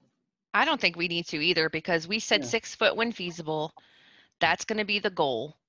Um, I think when we get numbers back, we'll be able to see what how that shakes out, and you know if we can make it work, if we can, if it's possible for us to do. But I feel like that um, our plan offers some that flexibility. And do we have numbers yet, Dr. Harner? Oh yeah, Dr. Hunter, do you have you guys want to share that at all? Uh, Ms. Edwards, would you please give them a brief overview of what we know as of today, um, as of to- uh, this evening, I think? She's there. I know she is. We'll give her a Good second. response rate. Trying to unmute. Ouch. There you Okay. are. Okay, now wait, I wrote all that down and I put it over here. All right, as of um, this afternoon, we had received 3,700 responses um, or registrations, and that's students, not families, because each individual student got a SNAP code. So we have heard from about 75% of our of our students so far, which is good. The, the uh, deadline was tonight. We did get questions about could people wait to hear tonight's discussion before submitting their registration? We said yes. Um, principals and secretaries have been sending out reminders to families to register. And as we get the number smaller, they will start calling um, people individually to try to make sure that we've accounted for every student. Um, so far, we are um, the percentages, and this varies by grade level and it varies by by building. Um, but overall, about 60% are choosing live instruction, 21.8% are selecting hybrid, and 17.1% are selecting virtual. So um, it's similar, not that different from the, the survey um, information, which is good. Um, what principals are doing is calculating the exact capacity of every one of their uh, classrooms based on a similar process that uh, Mrs. Mitchell and Mr. Spear, Mr. Akmanowitz, that they were kind of doing as an exercise on, uh, uh, I guess, earlier this week. Um, but that's what principals are doing uh, with their custodians and such for every room in their building, so they know the capacity. And then they'll be looking at the number of students in the grade level that selected live instruction, and they'll be seeing how they can use the spaces in their building with the appropriate social distancing to accommodate the number of students per grade level that um, that have requested that. So that's the that's what they are engaged in, um, and hopefully on August 13th we'll have a a full report of what we what we can do, what we can't do, what we can do, but what the consequences will be in terms of um, the student experience and such. So that's what we as of today. May, may I ask you to, um, what were those percentages again? 60% requested live instruction. Was it 29% hybrid? 21.8 percent. 21? 21.8, 17.1 virtual. All right. That, that's why my numbers didn't add up. Thank you. Dr. Harner, can you recall, isn't that approximately the spread we were looking for if we wanted to give everybody their choice? In other words, can't we get 60% live with 20% the other two options, which is approximately what we have? Is that, is that not accurate or? I would not want to say tonight. That was what I recall, Ron. Okay, no, that's fair, that's fair. I, I- I'm not, I don't want to put you on the spot. That's, that's, But- But we, I was put on the spot when I said that before, and I want to make sure that that my answers are accurate tonight. So, and, and, and we don't have that yet. Yeah, what Nancy Ann just described will get us the real numbers, so we can wait. Still don't know AP music. Do we know, uh, what's the all though, time for so. the other people to, uh, to, uh, reply? Well, we have to schedule every student, so deadline is sort of a, um, that's the, we would like people to do it right away, but we will have to track families down one at a time and, and account for the students that are missing. Right. Do we know if they're, when will we get an idea of by grade level? You know, for instance, did we have more interest in a certain area by certain grade, that type of thing? Well, the pattern so far is that there are certain grade levels that where there is a higher interest in live instruction than others. And those tend to be the transitional years, like sixth grade, uh, ninth grade, senior year, um, and to some extent in the primary grades. But we will have all that for you once we have all the numbers and the principals have done their analysis for their own facility. Because remember, this is a classroom by classroom exercise, so the global number only, only tells us so much. Okay, that's fair. Thank you for that update. I really appreciate it. If you haven't registered, register, please. Faster we get that done, the faster we can start to, to really get a good picture and make plans. I will say 17% hybrid or, or virtual rather, 17% virtual. It's much higher than I ever would have predicted. I know it's not final yet, but Well, Ron, where you at, Ron? What did I, I- I just want to tell you, Ron, I told you so.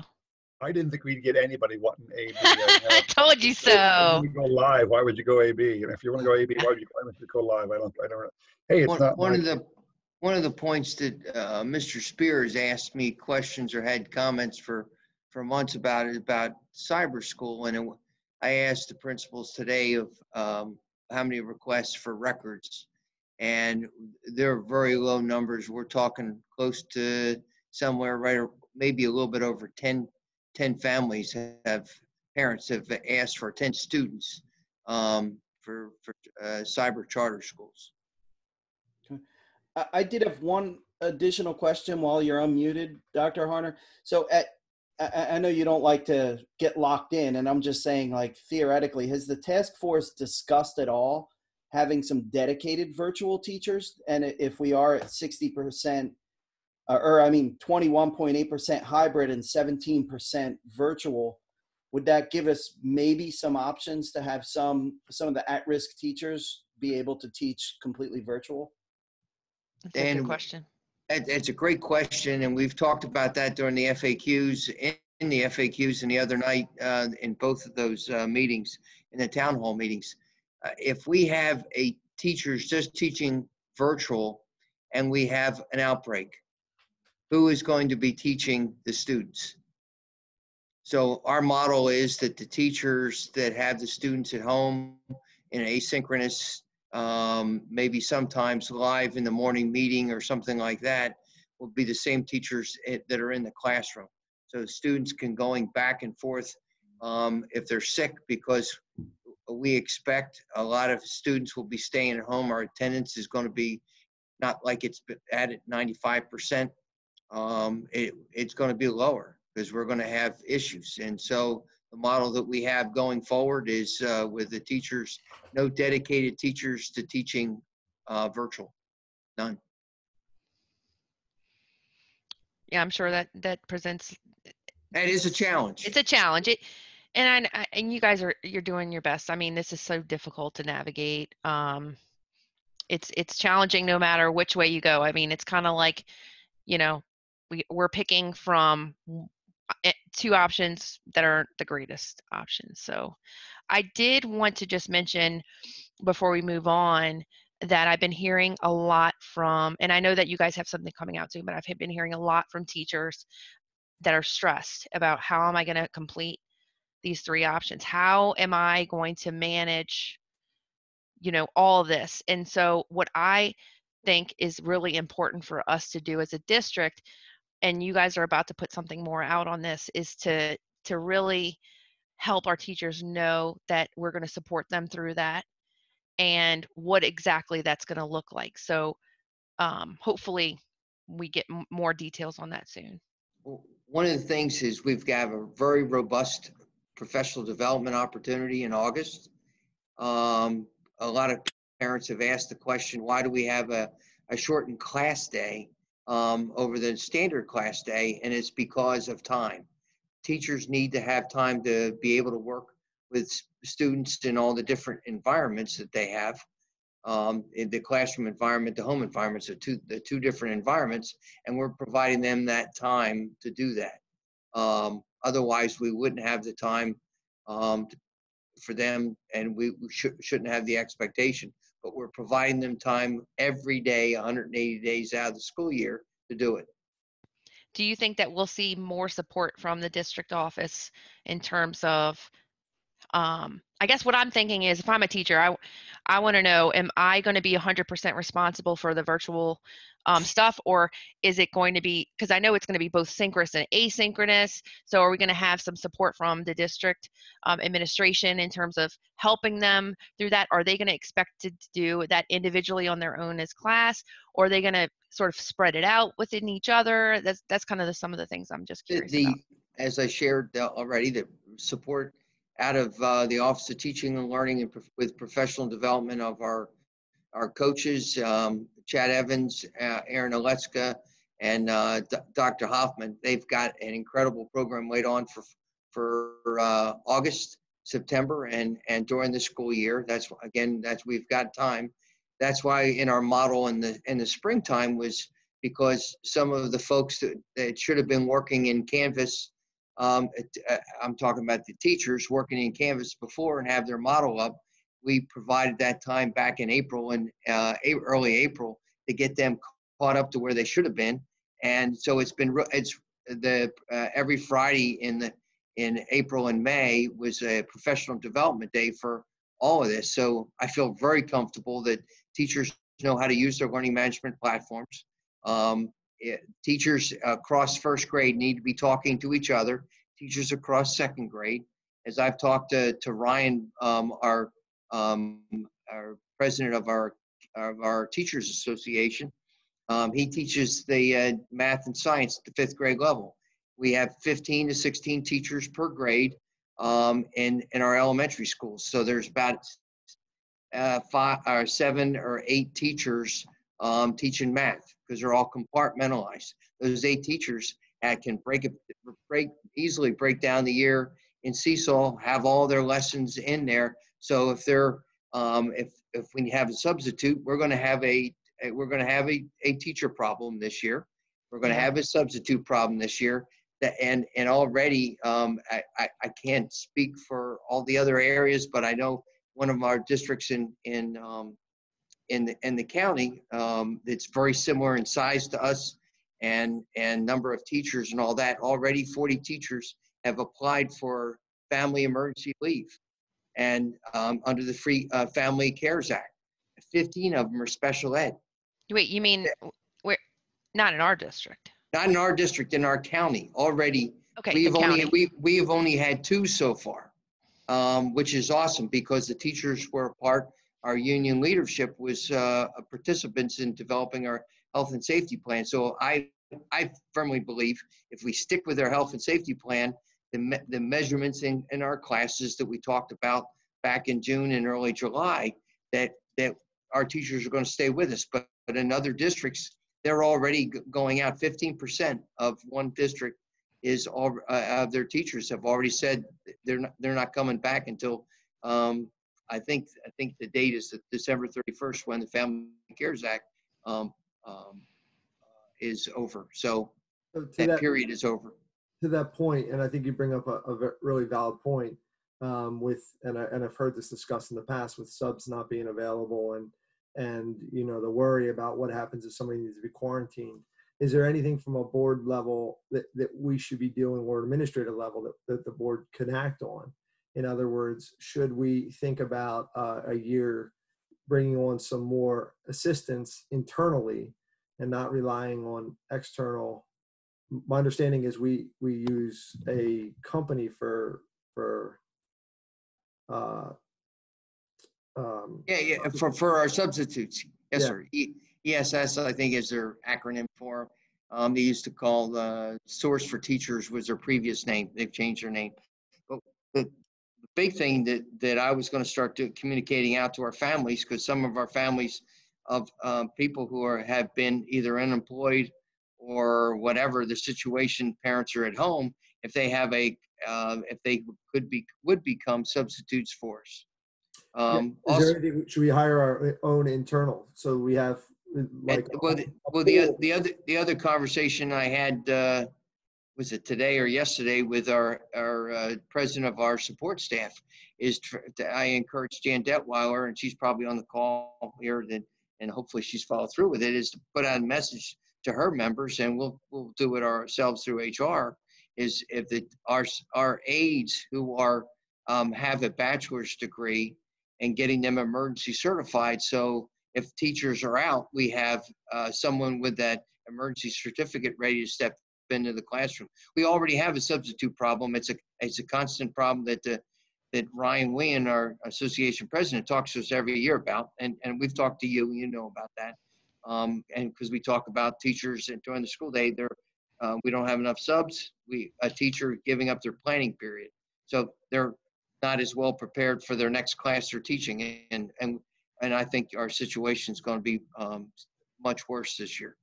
Yeah I to, have- to that end i was thinking is there is there a way can as a board can we approve something that that gives a you know a float pool of of five people that we would pay every day for the entire year and then we would rotate them as needed to augment Well, like, well, like one- yeah. I don't know, just spitballing ideas here. One of the things is that we've talked at the cabinet level, I've talked with uh, other administrators, with principals, elementary principal, middle school principals, our instructional coaches. Um, you know, this is not an un- unusual year. You looked in our FAQs, there, it's written all over there. Um, there's a lot of things we have to do that's different and hopefully for a short period of time. And one of them, we have the, the math coaches and the, uh, and the reading coaches we have in each of our elementary buildings. Uh, we have intentionally kept them out of, for the most part, out of being the substitute teacher when, when we can't come up with subs.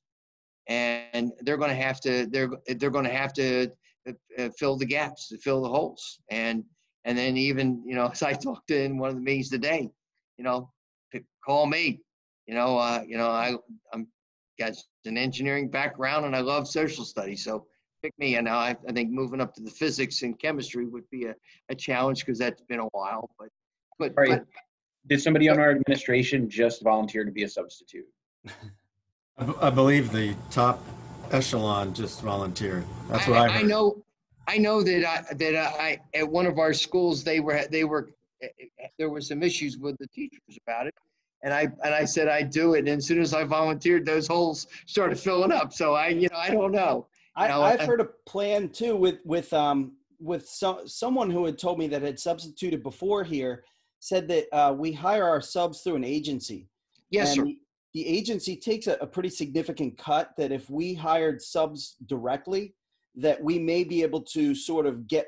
Uh, we'd have a better pool of subs. And more? Yeah, I guess you know, say a substitute teacher gets a hundred dollars a day through the agency, and maybe we pay the agency $120 a day. I, I'm making up numbers. I have no idea what it is, but you know, we could then pay these substitutes directly the $120 a day or whatever. So it- would be more attractive to come here and work for us than it would to be going through agencies. substitutes are, are a, a probably a national shortage. They are a regional shortage. I know that.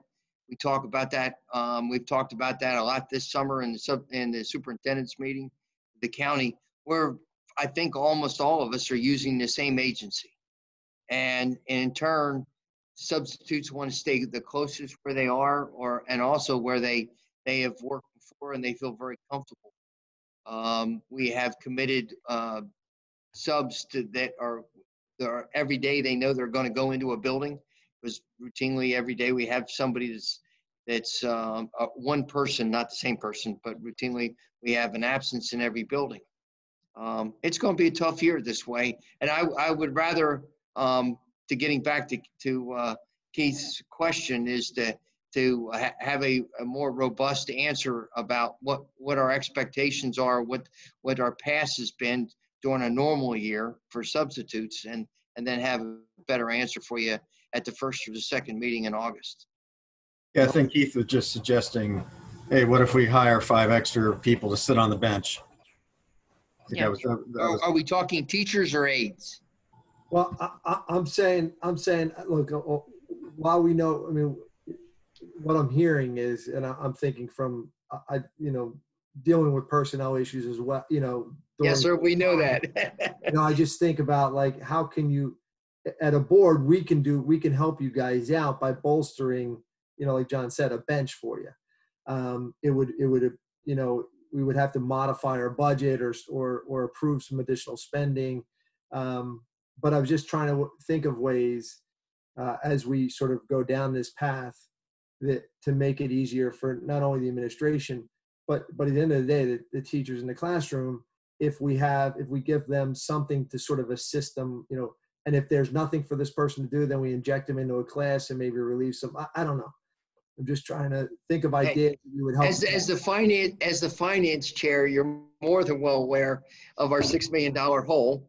And, and, and uh, this is extraordinary times and that's why you have a, a reserve, reserve and a fund balance to plug those holes in those extreme circumstances.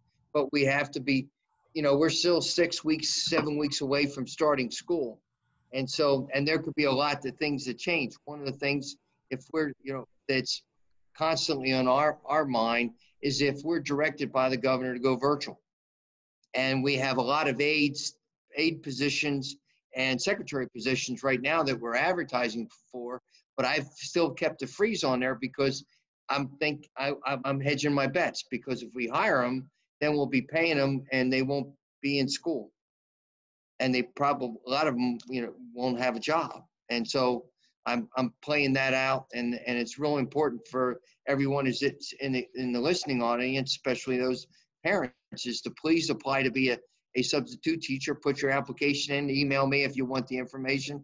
Since most folks know what my email address is, wharner at QCSD, we'll get the information out. But we, we're working behind the scenes. Now that we know, for the most part, 78% was the number that I had on registration uh, already. Once we get that, that number, the principals to figure out what's in class, we'll know that. Then the next step is figuring out what, how are the teachers, how are teachers actually going to respond? How many are uncomfortable with what the plan is? You know, I'm feeling very good in- so far about what our teachers are thinking about your acceptance of our plan, uh, our task force plan, our, our our community's plan for opening up uh, schools. We want to get back there. They want to get back there, uh, but they want to feel safe. So if we can keep our numbers low from retirements, we've had four in the last week. Um, had another one today. We had three last Monday and then, um, and then one, uh, one today.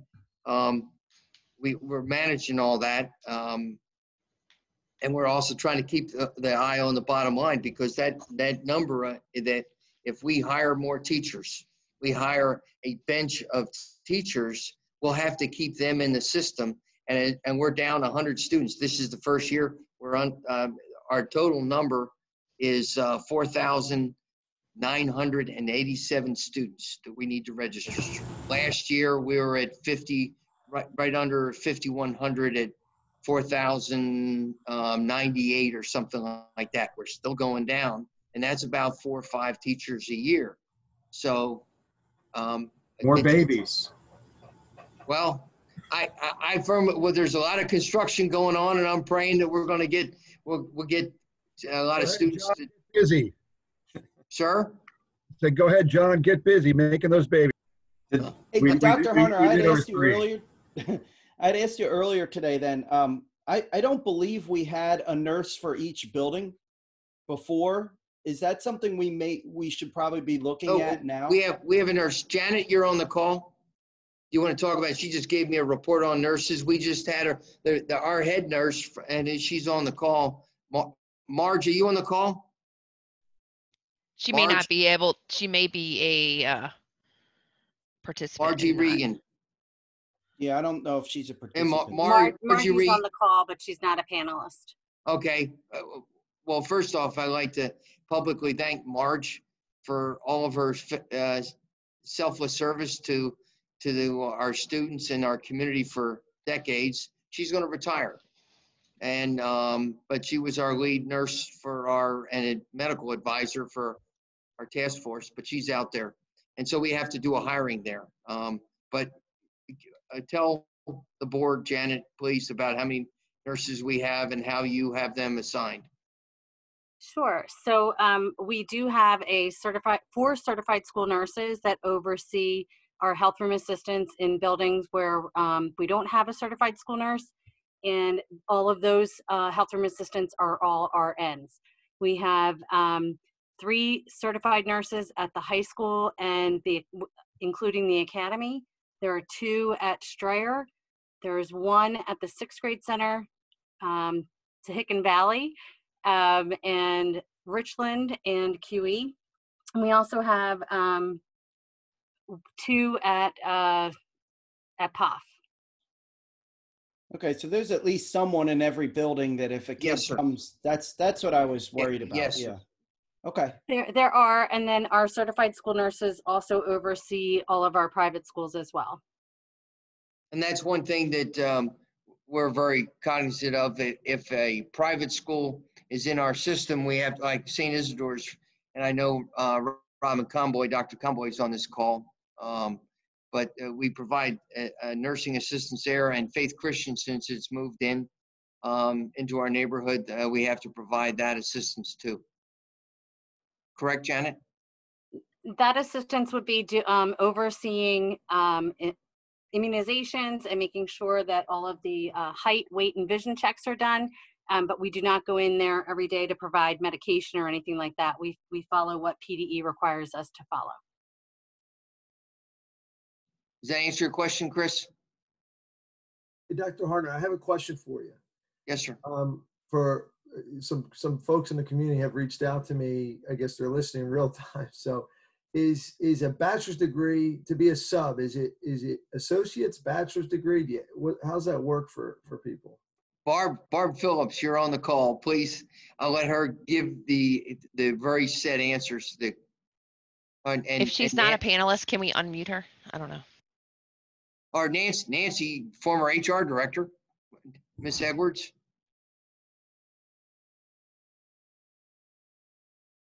Miss Sorry. Edwards, My buttons. Yeah, I, I am not the best person to ask because I haven't been responsible for HR for seven six, years. five, six years now. And so I would not want to give old information that is not up to date. There's Barb on the bottom. She just came on. She just came on. Hi, yes, I'm here. So, yeah, so yes, all that's required. Can you guys hear me? Yes. All that's required is a bachelor's degree. Bachelor's degree only. Um, and then they would file, they would still be hired through ESS. Um, but that's all that's required. Um, they, those with a bachelor's degree, then they would also uh, go through, there is a new uh, teacher training that's done through the IU in coordination with ESS. Um, so it's like a two or three day training on, you know, the classroom management skills and things such as that. Once they're completed that, um, the IU will issue the emergency certifications for the, these individuals and um, the agreement is normally emergency certifications are only issued to individual school districts, but um, the IU and ESS have an agreement that um, the emergency certifications are good in all of Bucks County to, to Well- emergency sub. Well, uh, Keith, we'll send out a note uh, within the next week out to all of, all users, to parents and, um, to parents and, uh, and let them know what our needs are and with all the requirements and points of contact. Because that, that's definitely part, one of our strategies that we have to have here. And every district has to have that because of the, the shortage of, the shortage of subs. Thanks, so- Barb. So it's, so it's, it's people, you have to have a bachelor's in hand. It's not people who are pursuing a bachelor's degree. That, that is, Barb, I, I, I just, I Yes. just moved her, moved her back, so I apologize. I thought the question was over. All right, that's fine. We can talk about it later. Not a big deal. I'll, I'll send it out, sir. Or- Or Barb will send it out. All right. Any other questions? We can get maybe moving on with the rest of the agenda.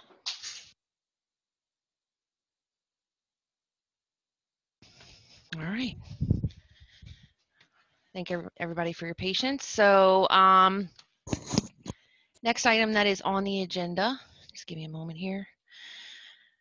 We have some items that are for board action approval of, of the opening of Neidig Elementary for the 2021 school year. And there is a PDE resolution. Do I need to read that resolution?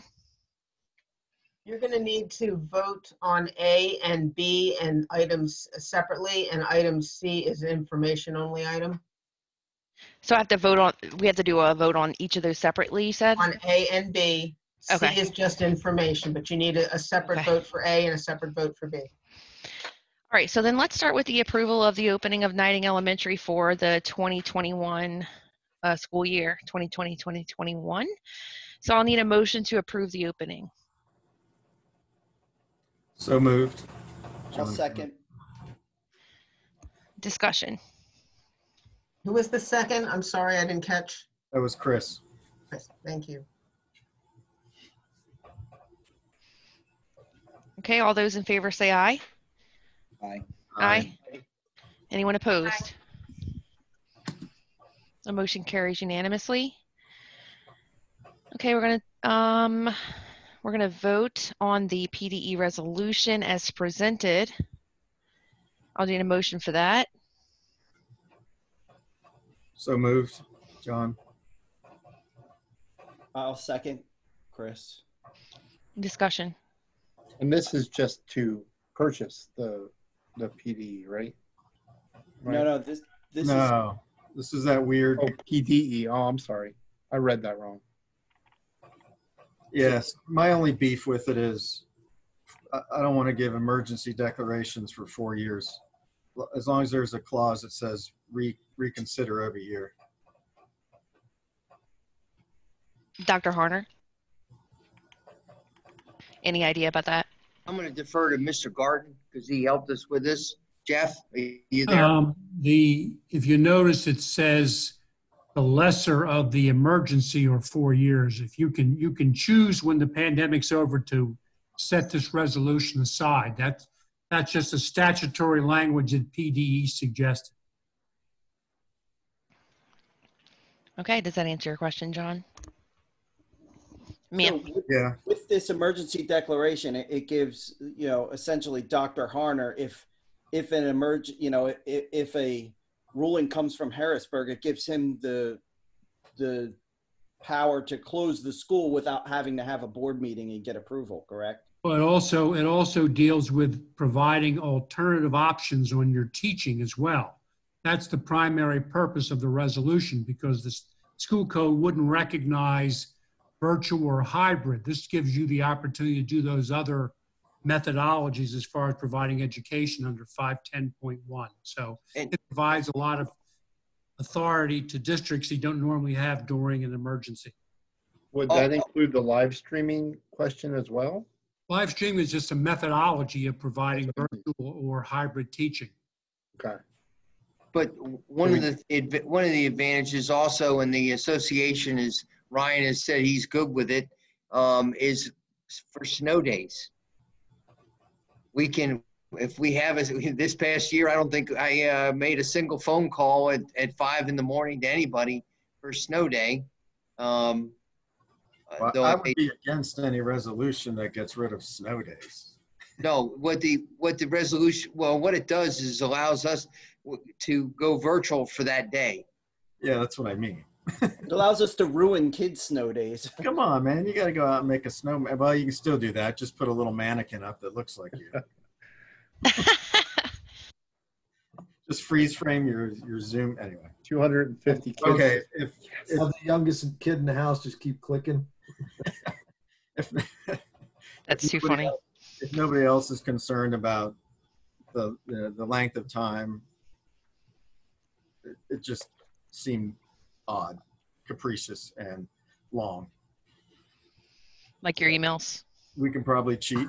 Oh, Wow. I was Oh, messing. good, good oh, point.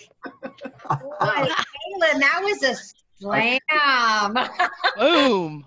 I He can't knows I got- I won't, I won't back off. I can't deny that. I, I got nothing but love for his emails. I'm just giving him a hard time. Gotta gotta break up the monotony a little bit. That's right. Okay, I'm I'm satisfied. Okay. All right. So then all those in favor say aye. Uh, aye. Aye. Aye. Anyone opposed? Motion carries unanimously. The last item is just an information item. This is the first reading of the live stream video on school district property.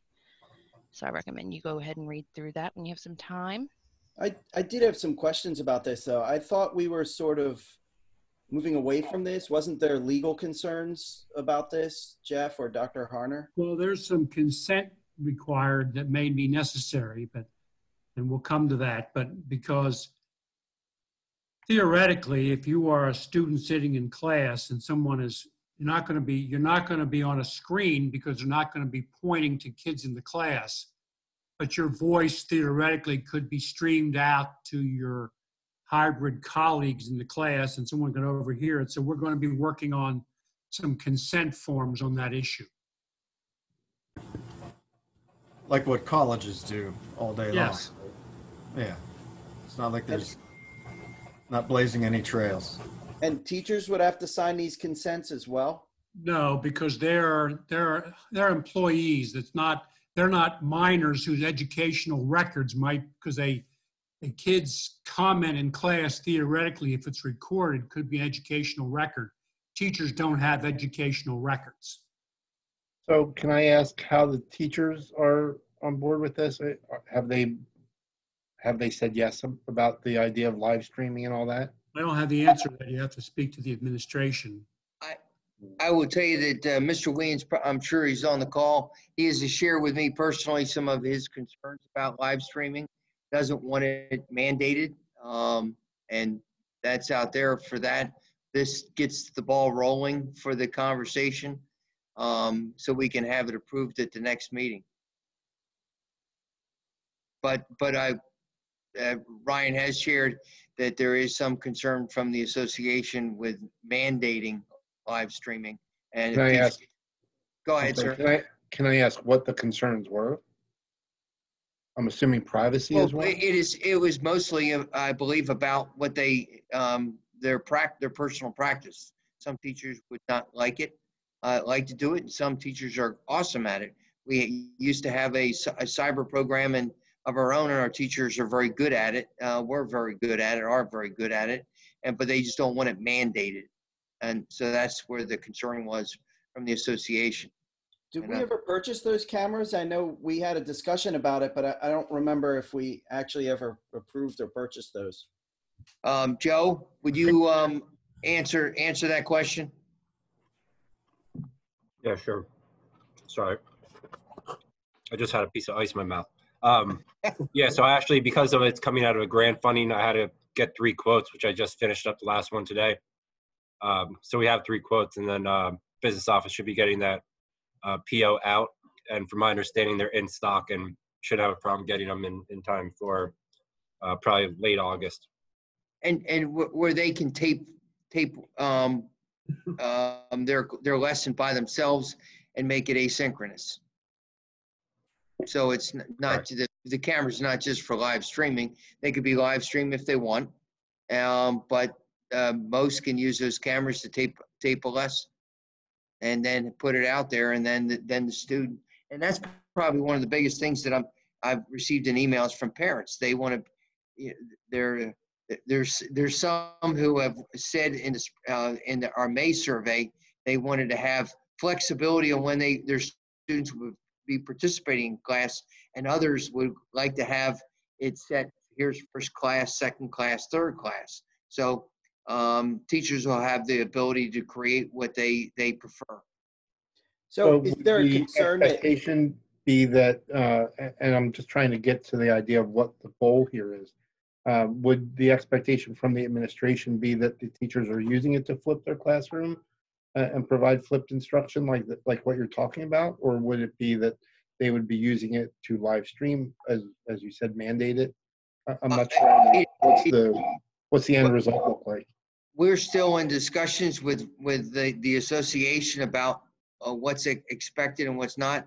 Ryan and the association they've been incredible partners this spring, and so I I- I I, I. I wouldn't want to be held to using the word mandate is a, a really strong word that the association is not good with, and I'm not there yet with our discussions. We still have to work on it. Yeah, I, I think what I meant was, what was, like, when you thought about this, what was the, what was the, uh, the picture, what did the picture look like for how they would use them? For for for cam purchasing the cameras. Yes, sir. Oh, so the te- every teacher has the flexibility to present a class, tape a class, do it uh, on their time schedule. Um, eh, we know that there are going to be some teachers that won't be either the they will be out. They, they have they have sick days. They have vacation. They have days that they uh, uh, personal days. They're going to be out of the building. So they could have a class already set up to go that's right in Seesaw or right in right in um, Canvas, and the our substitutes can use that. So right now, it's building flexibility, building out our technology. I know you, you can appreciate that since that's what you teach and that's your world. That's, that's kind of why I was asking. I was. I know there's no doubt in my mind that that's one of the reasons you had the question, but but is to build our, our program and and to give the teachers the resources um, so they can uh, uh, be all they can be for our practice. For well, their is one of their concerns that you're going to be sitting in your office with your fingers up in the uh, Montgomery Burns position, monitoring their classes all day long with their cameras on, or, or you know, Hopefully, hopefully teachers know me well enough that I have a busy day. Yeah. I, I love to see them. I love to be out there with the kids. Love to be in the classrooms. and all that kind of stuff, but that, it, it's not that kind of oversight. There is some concern about that. that's a national problem right now, especially since the pandemic, um, about cameras and live streaming or, or even taping. Um, uh, that's uh, uh, something, but we want to, we have to, the purpose of this conversation is, and to move it forward, is to have a first reading of this policy and then, and then, um, then work, fine tune it with our association. But there is no intention to use it for teacher evaluations or anything like that. Uh, no, correct? sir. Okay, that's, No, that's kind of where I was going with my weird way of saying it. No, no, no, no, no. Would that even be legal? It wouldn't be consistent with your collective bargaining agreement to use that as a mechanism for an evaluation. All right. Glad, sounds like we got that pretty well cleared up. Um, I appreciate the conversation around that because I know that's something that um, is pressing. And I believe Mr. Wien did a survey and 40, 49% of his membership are okay with it as an option. 38.5 don't believe in it, it, it should be used at all. And 4.7 say they're okay with it. So I think the idea is that we are providing additional flexibility for our teachers and trying to accommodate them in whatever way we can. Eh, work, working with the, with Ryan, work, and our teachers have been amazing this spring, this summer, and, and, and, and task force participation, even though it's summertime. Um, very grateful. And, and I, I know the community is, and I know you are as a board, um, recognizing all that they're doing for us. Yeah, we definitely we realize teachers that it we are asking a lot of you guys this this year and and it's certainly going to be a challenge and I commit to you that we'll work with you guys through it. So along along that lines, I do. I mean, it, it- there are some good questions about the virtual component and and the other things. Is there? I mean, from a from a a again, I don't know if, if if family signed up, do they sign consent that, and you know, like I mean, in the hospital, we don't let people record what we're doing. Um, is there something that we I mean, we do to protect us as a district from that? Jeff, I'll let you handle the legal side of that. We have the obligation to maintain confidentiality with educational records. So we will be getting consents from parents to recognize that to some extent, certain elements of what might be an educational record can't be maintained in confidence because of the virtual component, the hybrid component. That's the purpose of the consent and release. Gotcha.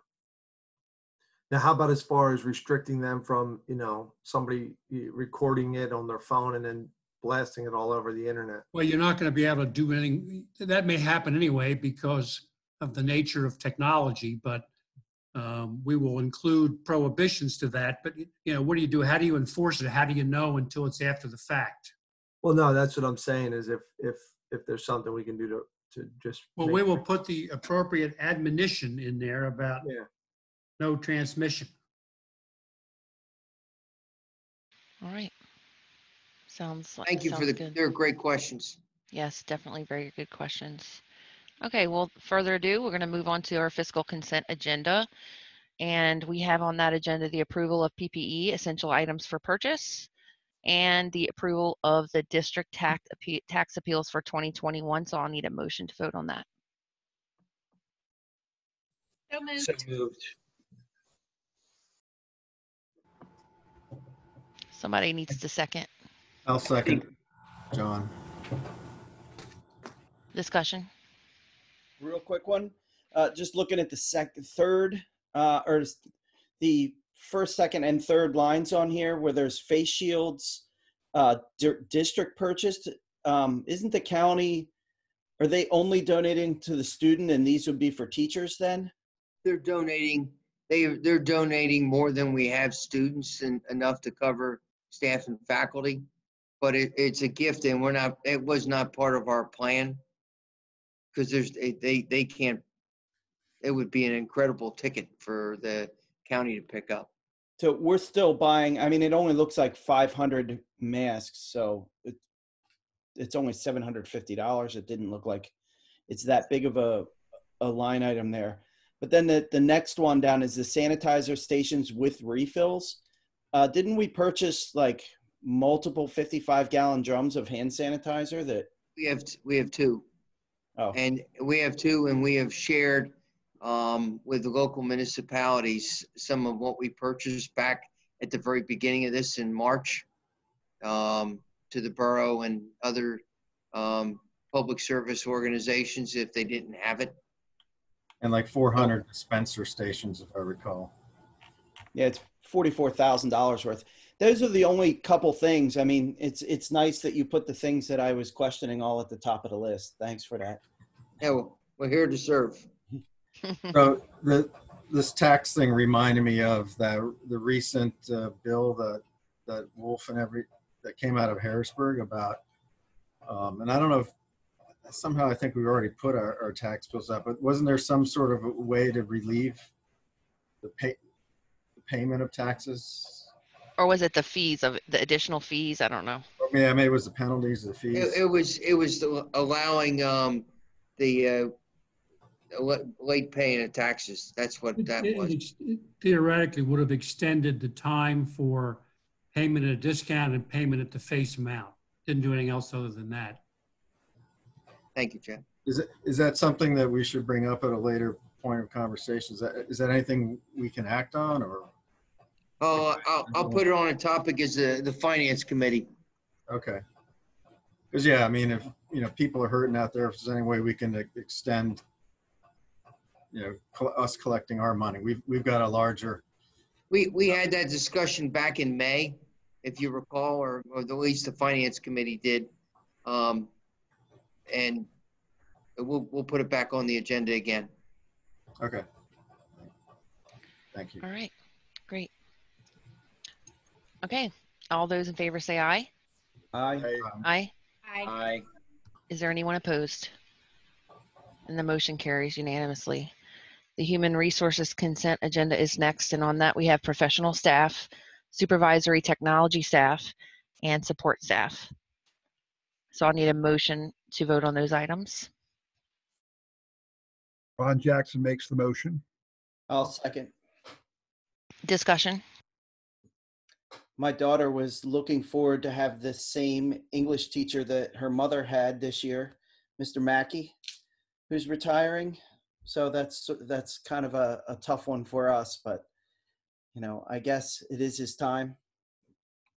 Well, Mr. Mackey, I've gotten to know him over the last seven years. He's a, a phenomenal English teacher, AP teacher, um, member of a team. We've got somebody out getting trained this summer.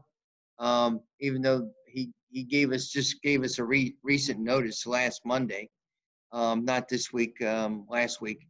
Um, Margie's there. Um, Kim Kreider's there, and she's our ELL teacher. What a loss! And I think um, out of uh, Strayer just uh, this evening, and matter of fact, I got it about an hour before the meeting started, was Miss Mc- McFetrich at Strayer. I just personally want to thank all the those that are the, the service to our district, those who are retiring. We really do appreciate your service, and I hope you enjoy your retirement. Okay, let's vote. All those in favor say aye. Aye. Aye. Aye. Is there anyone opposed? Okay, that motion will carry unanimously, and that leads us to our board comments, uh, new business.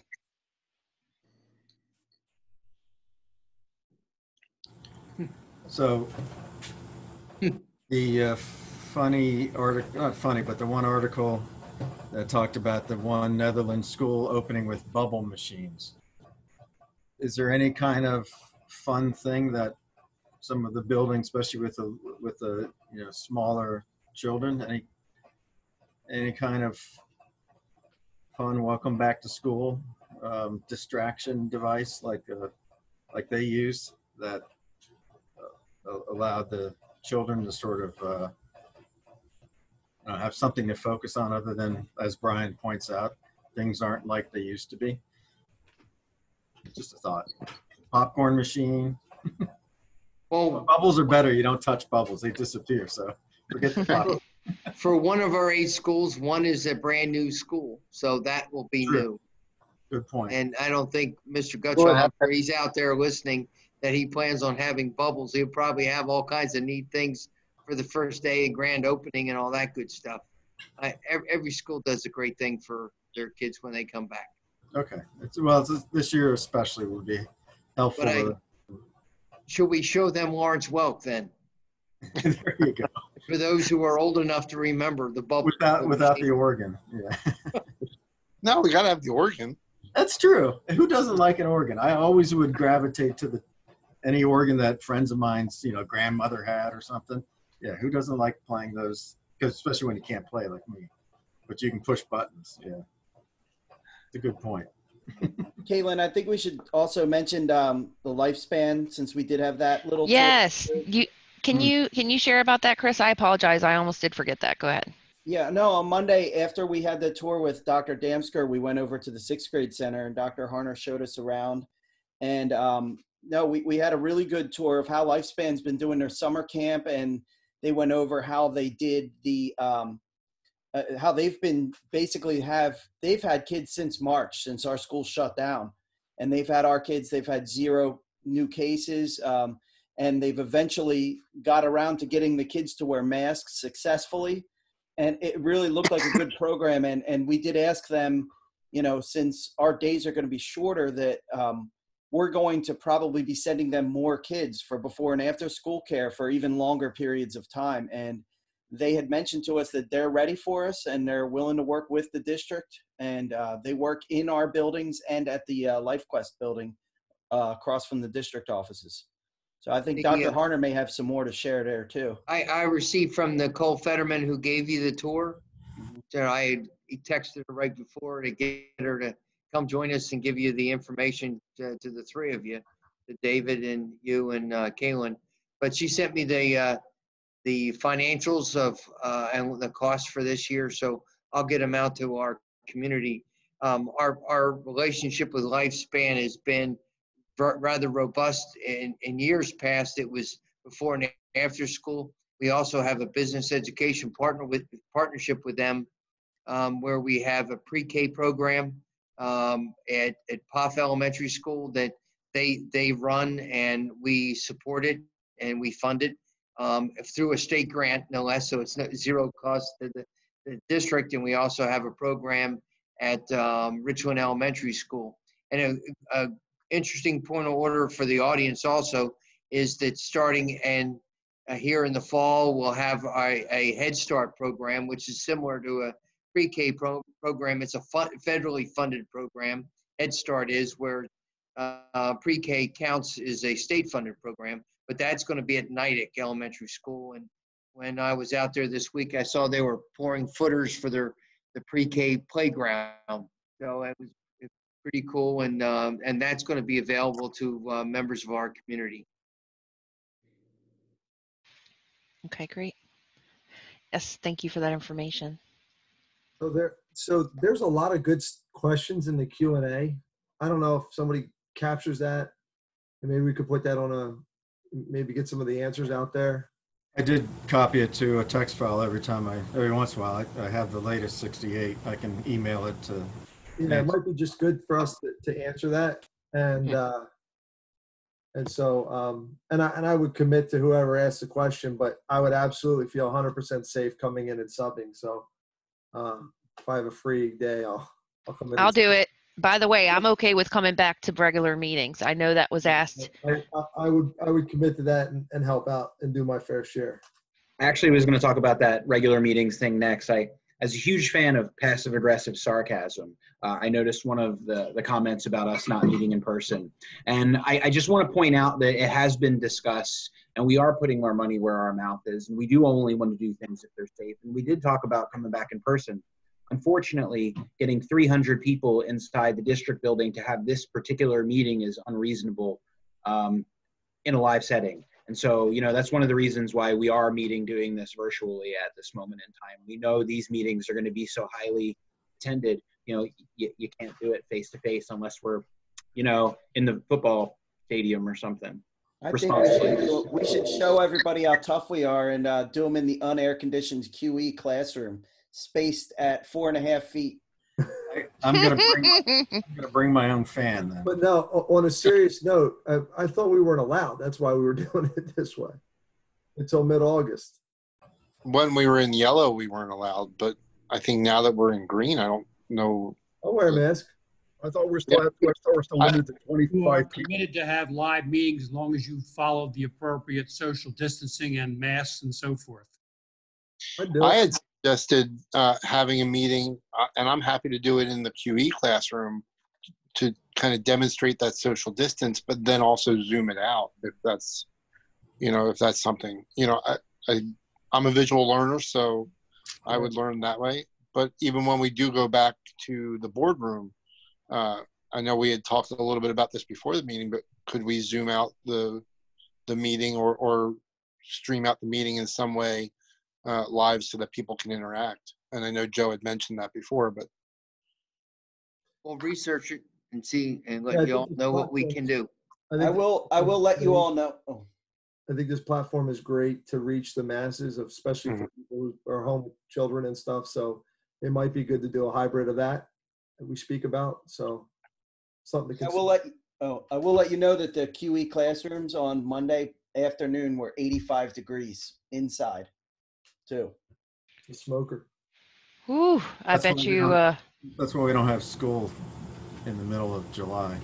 well, didn't they miss uh, about a week last year or year before because it was so hot over at? QE? I don't recall. Uh, I know it's very hot. Um, I would doubt that we would not have school, but I know they have a lot of fans going on. But it was interesting that ventilation of the school is a concern by some of the, the faculty members there. And I'm sure you, you, you were just talking about it, 85 degrees, all that kind of stuff. And I know it's not August yet, September when we start, but there is some, some concerns about um, ventilation. We have a report that we just put up on the website, I think today, about our uh, our other buildings and our and our, the evaluation that we, we had conducted to make sure this and it's attached to our FAQs on that uh, the uh, other schools. And Dr. When I- Damsker, I think, did comment on that. Sorry, Dave, that we did have, and I, I don't, I'm not going to use the proper term.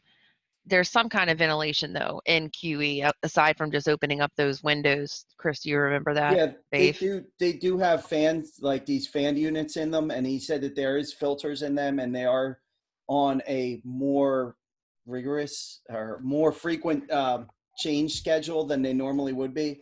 I believe it was like six months before, now they're doing it quarterly. Uh, Rob, Rob's on this call, he would probably, he answered that at the meeting on Monday. Rob? Yes, we, we do quarterly changes in all HVAC units. Which is more than you did last year, correct? No, we've been doing quarterly changes for a long time now. All right. Thank you for that information. Any other, Dave, did you have a comment that you wanted to make? Any other new business? No, no, I'm, I'm good. Okay, so we have a public comment here that we wanted to save for the end. So um, I would ask Terry if you're going to be reading those.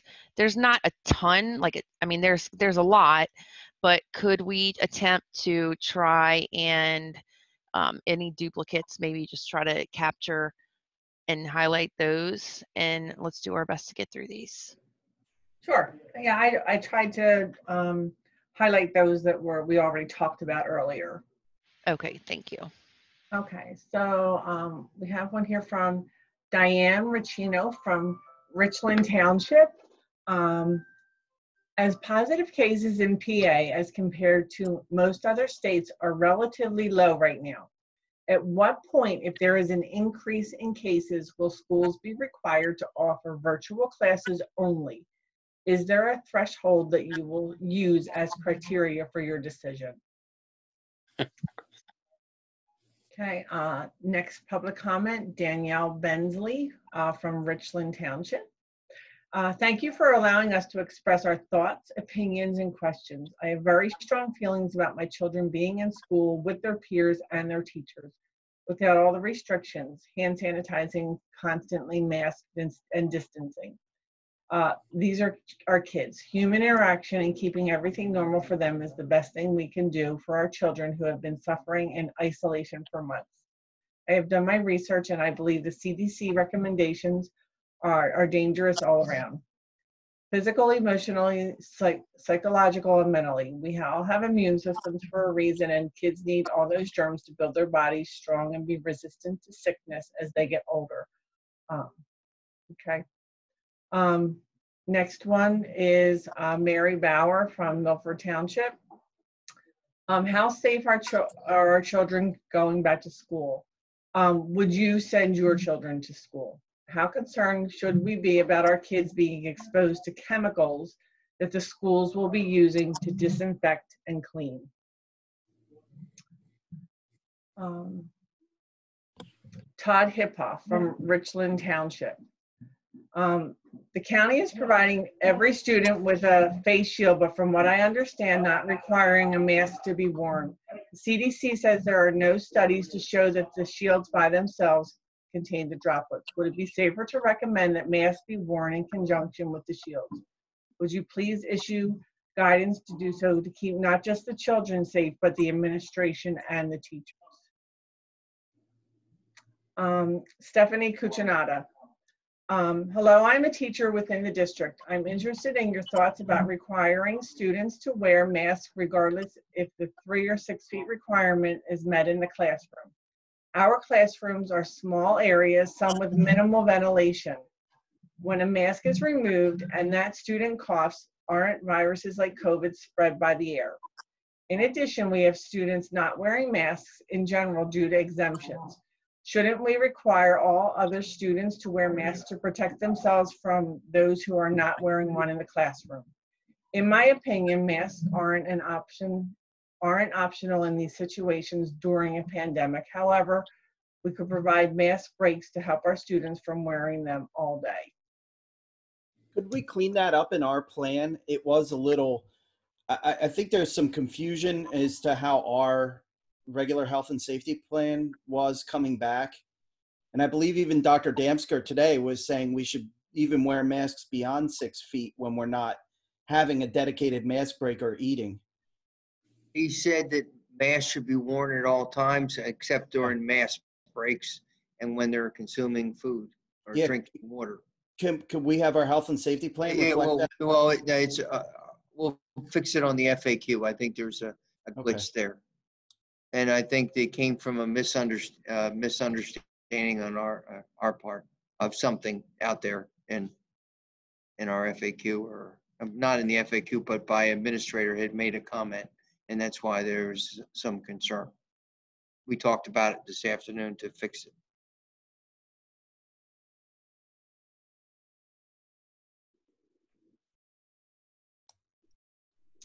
Is that a wrap? Okay, next, um, public comment, Melissa Fox from Richland Township. Um, she has three items here. One, um, is the board considering, especially with a shortened day, eliminating specials and electives to minimize switching of classes and kids, uh, passing in the hallway? Uh, two, will we stand on our own as a district when it comes to making decisions whether to open or close? based on the local COVID numbers, facts, and figures, and not just follow what neighboring school districts do. And three, um, what happened to bringing in all the special ed children with IEPs um, and letting them benefit from face-to-face teaching?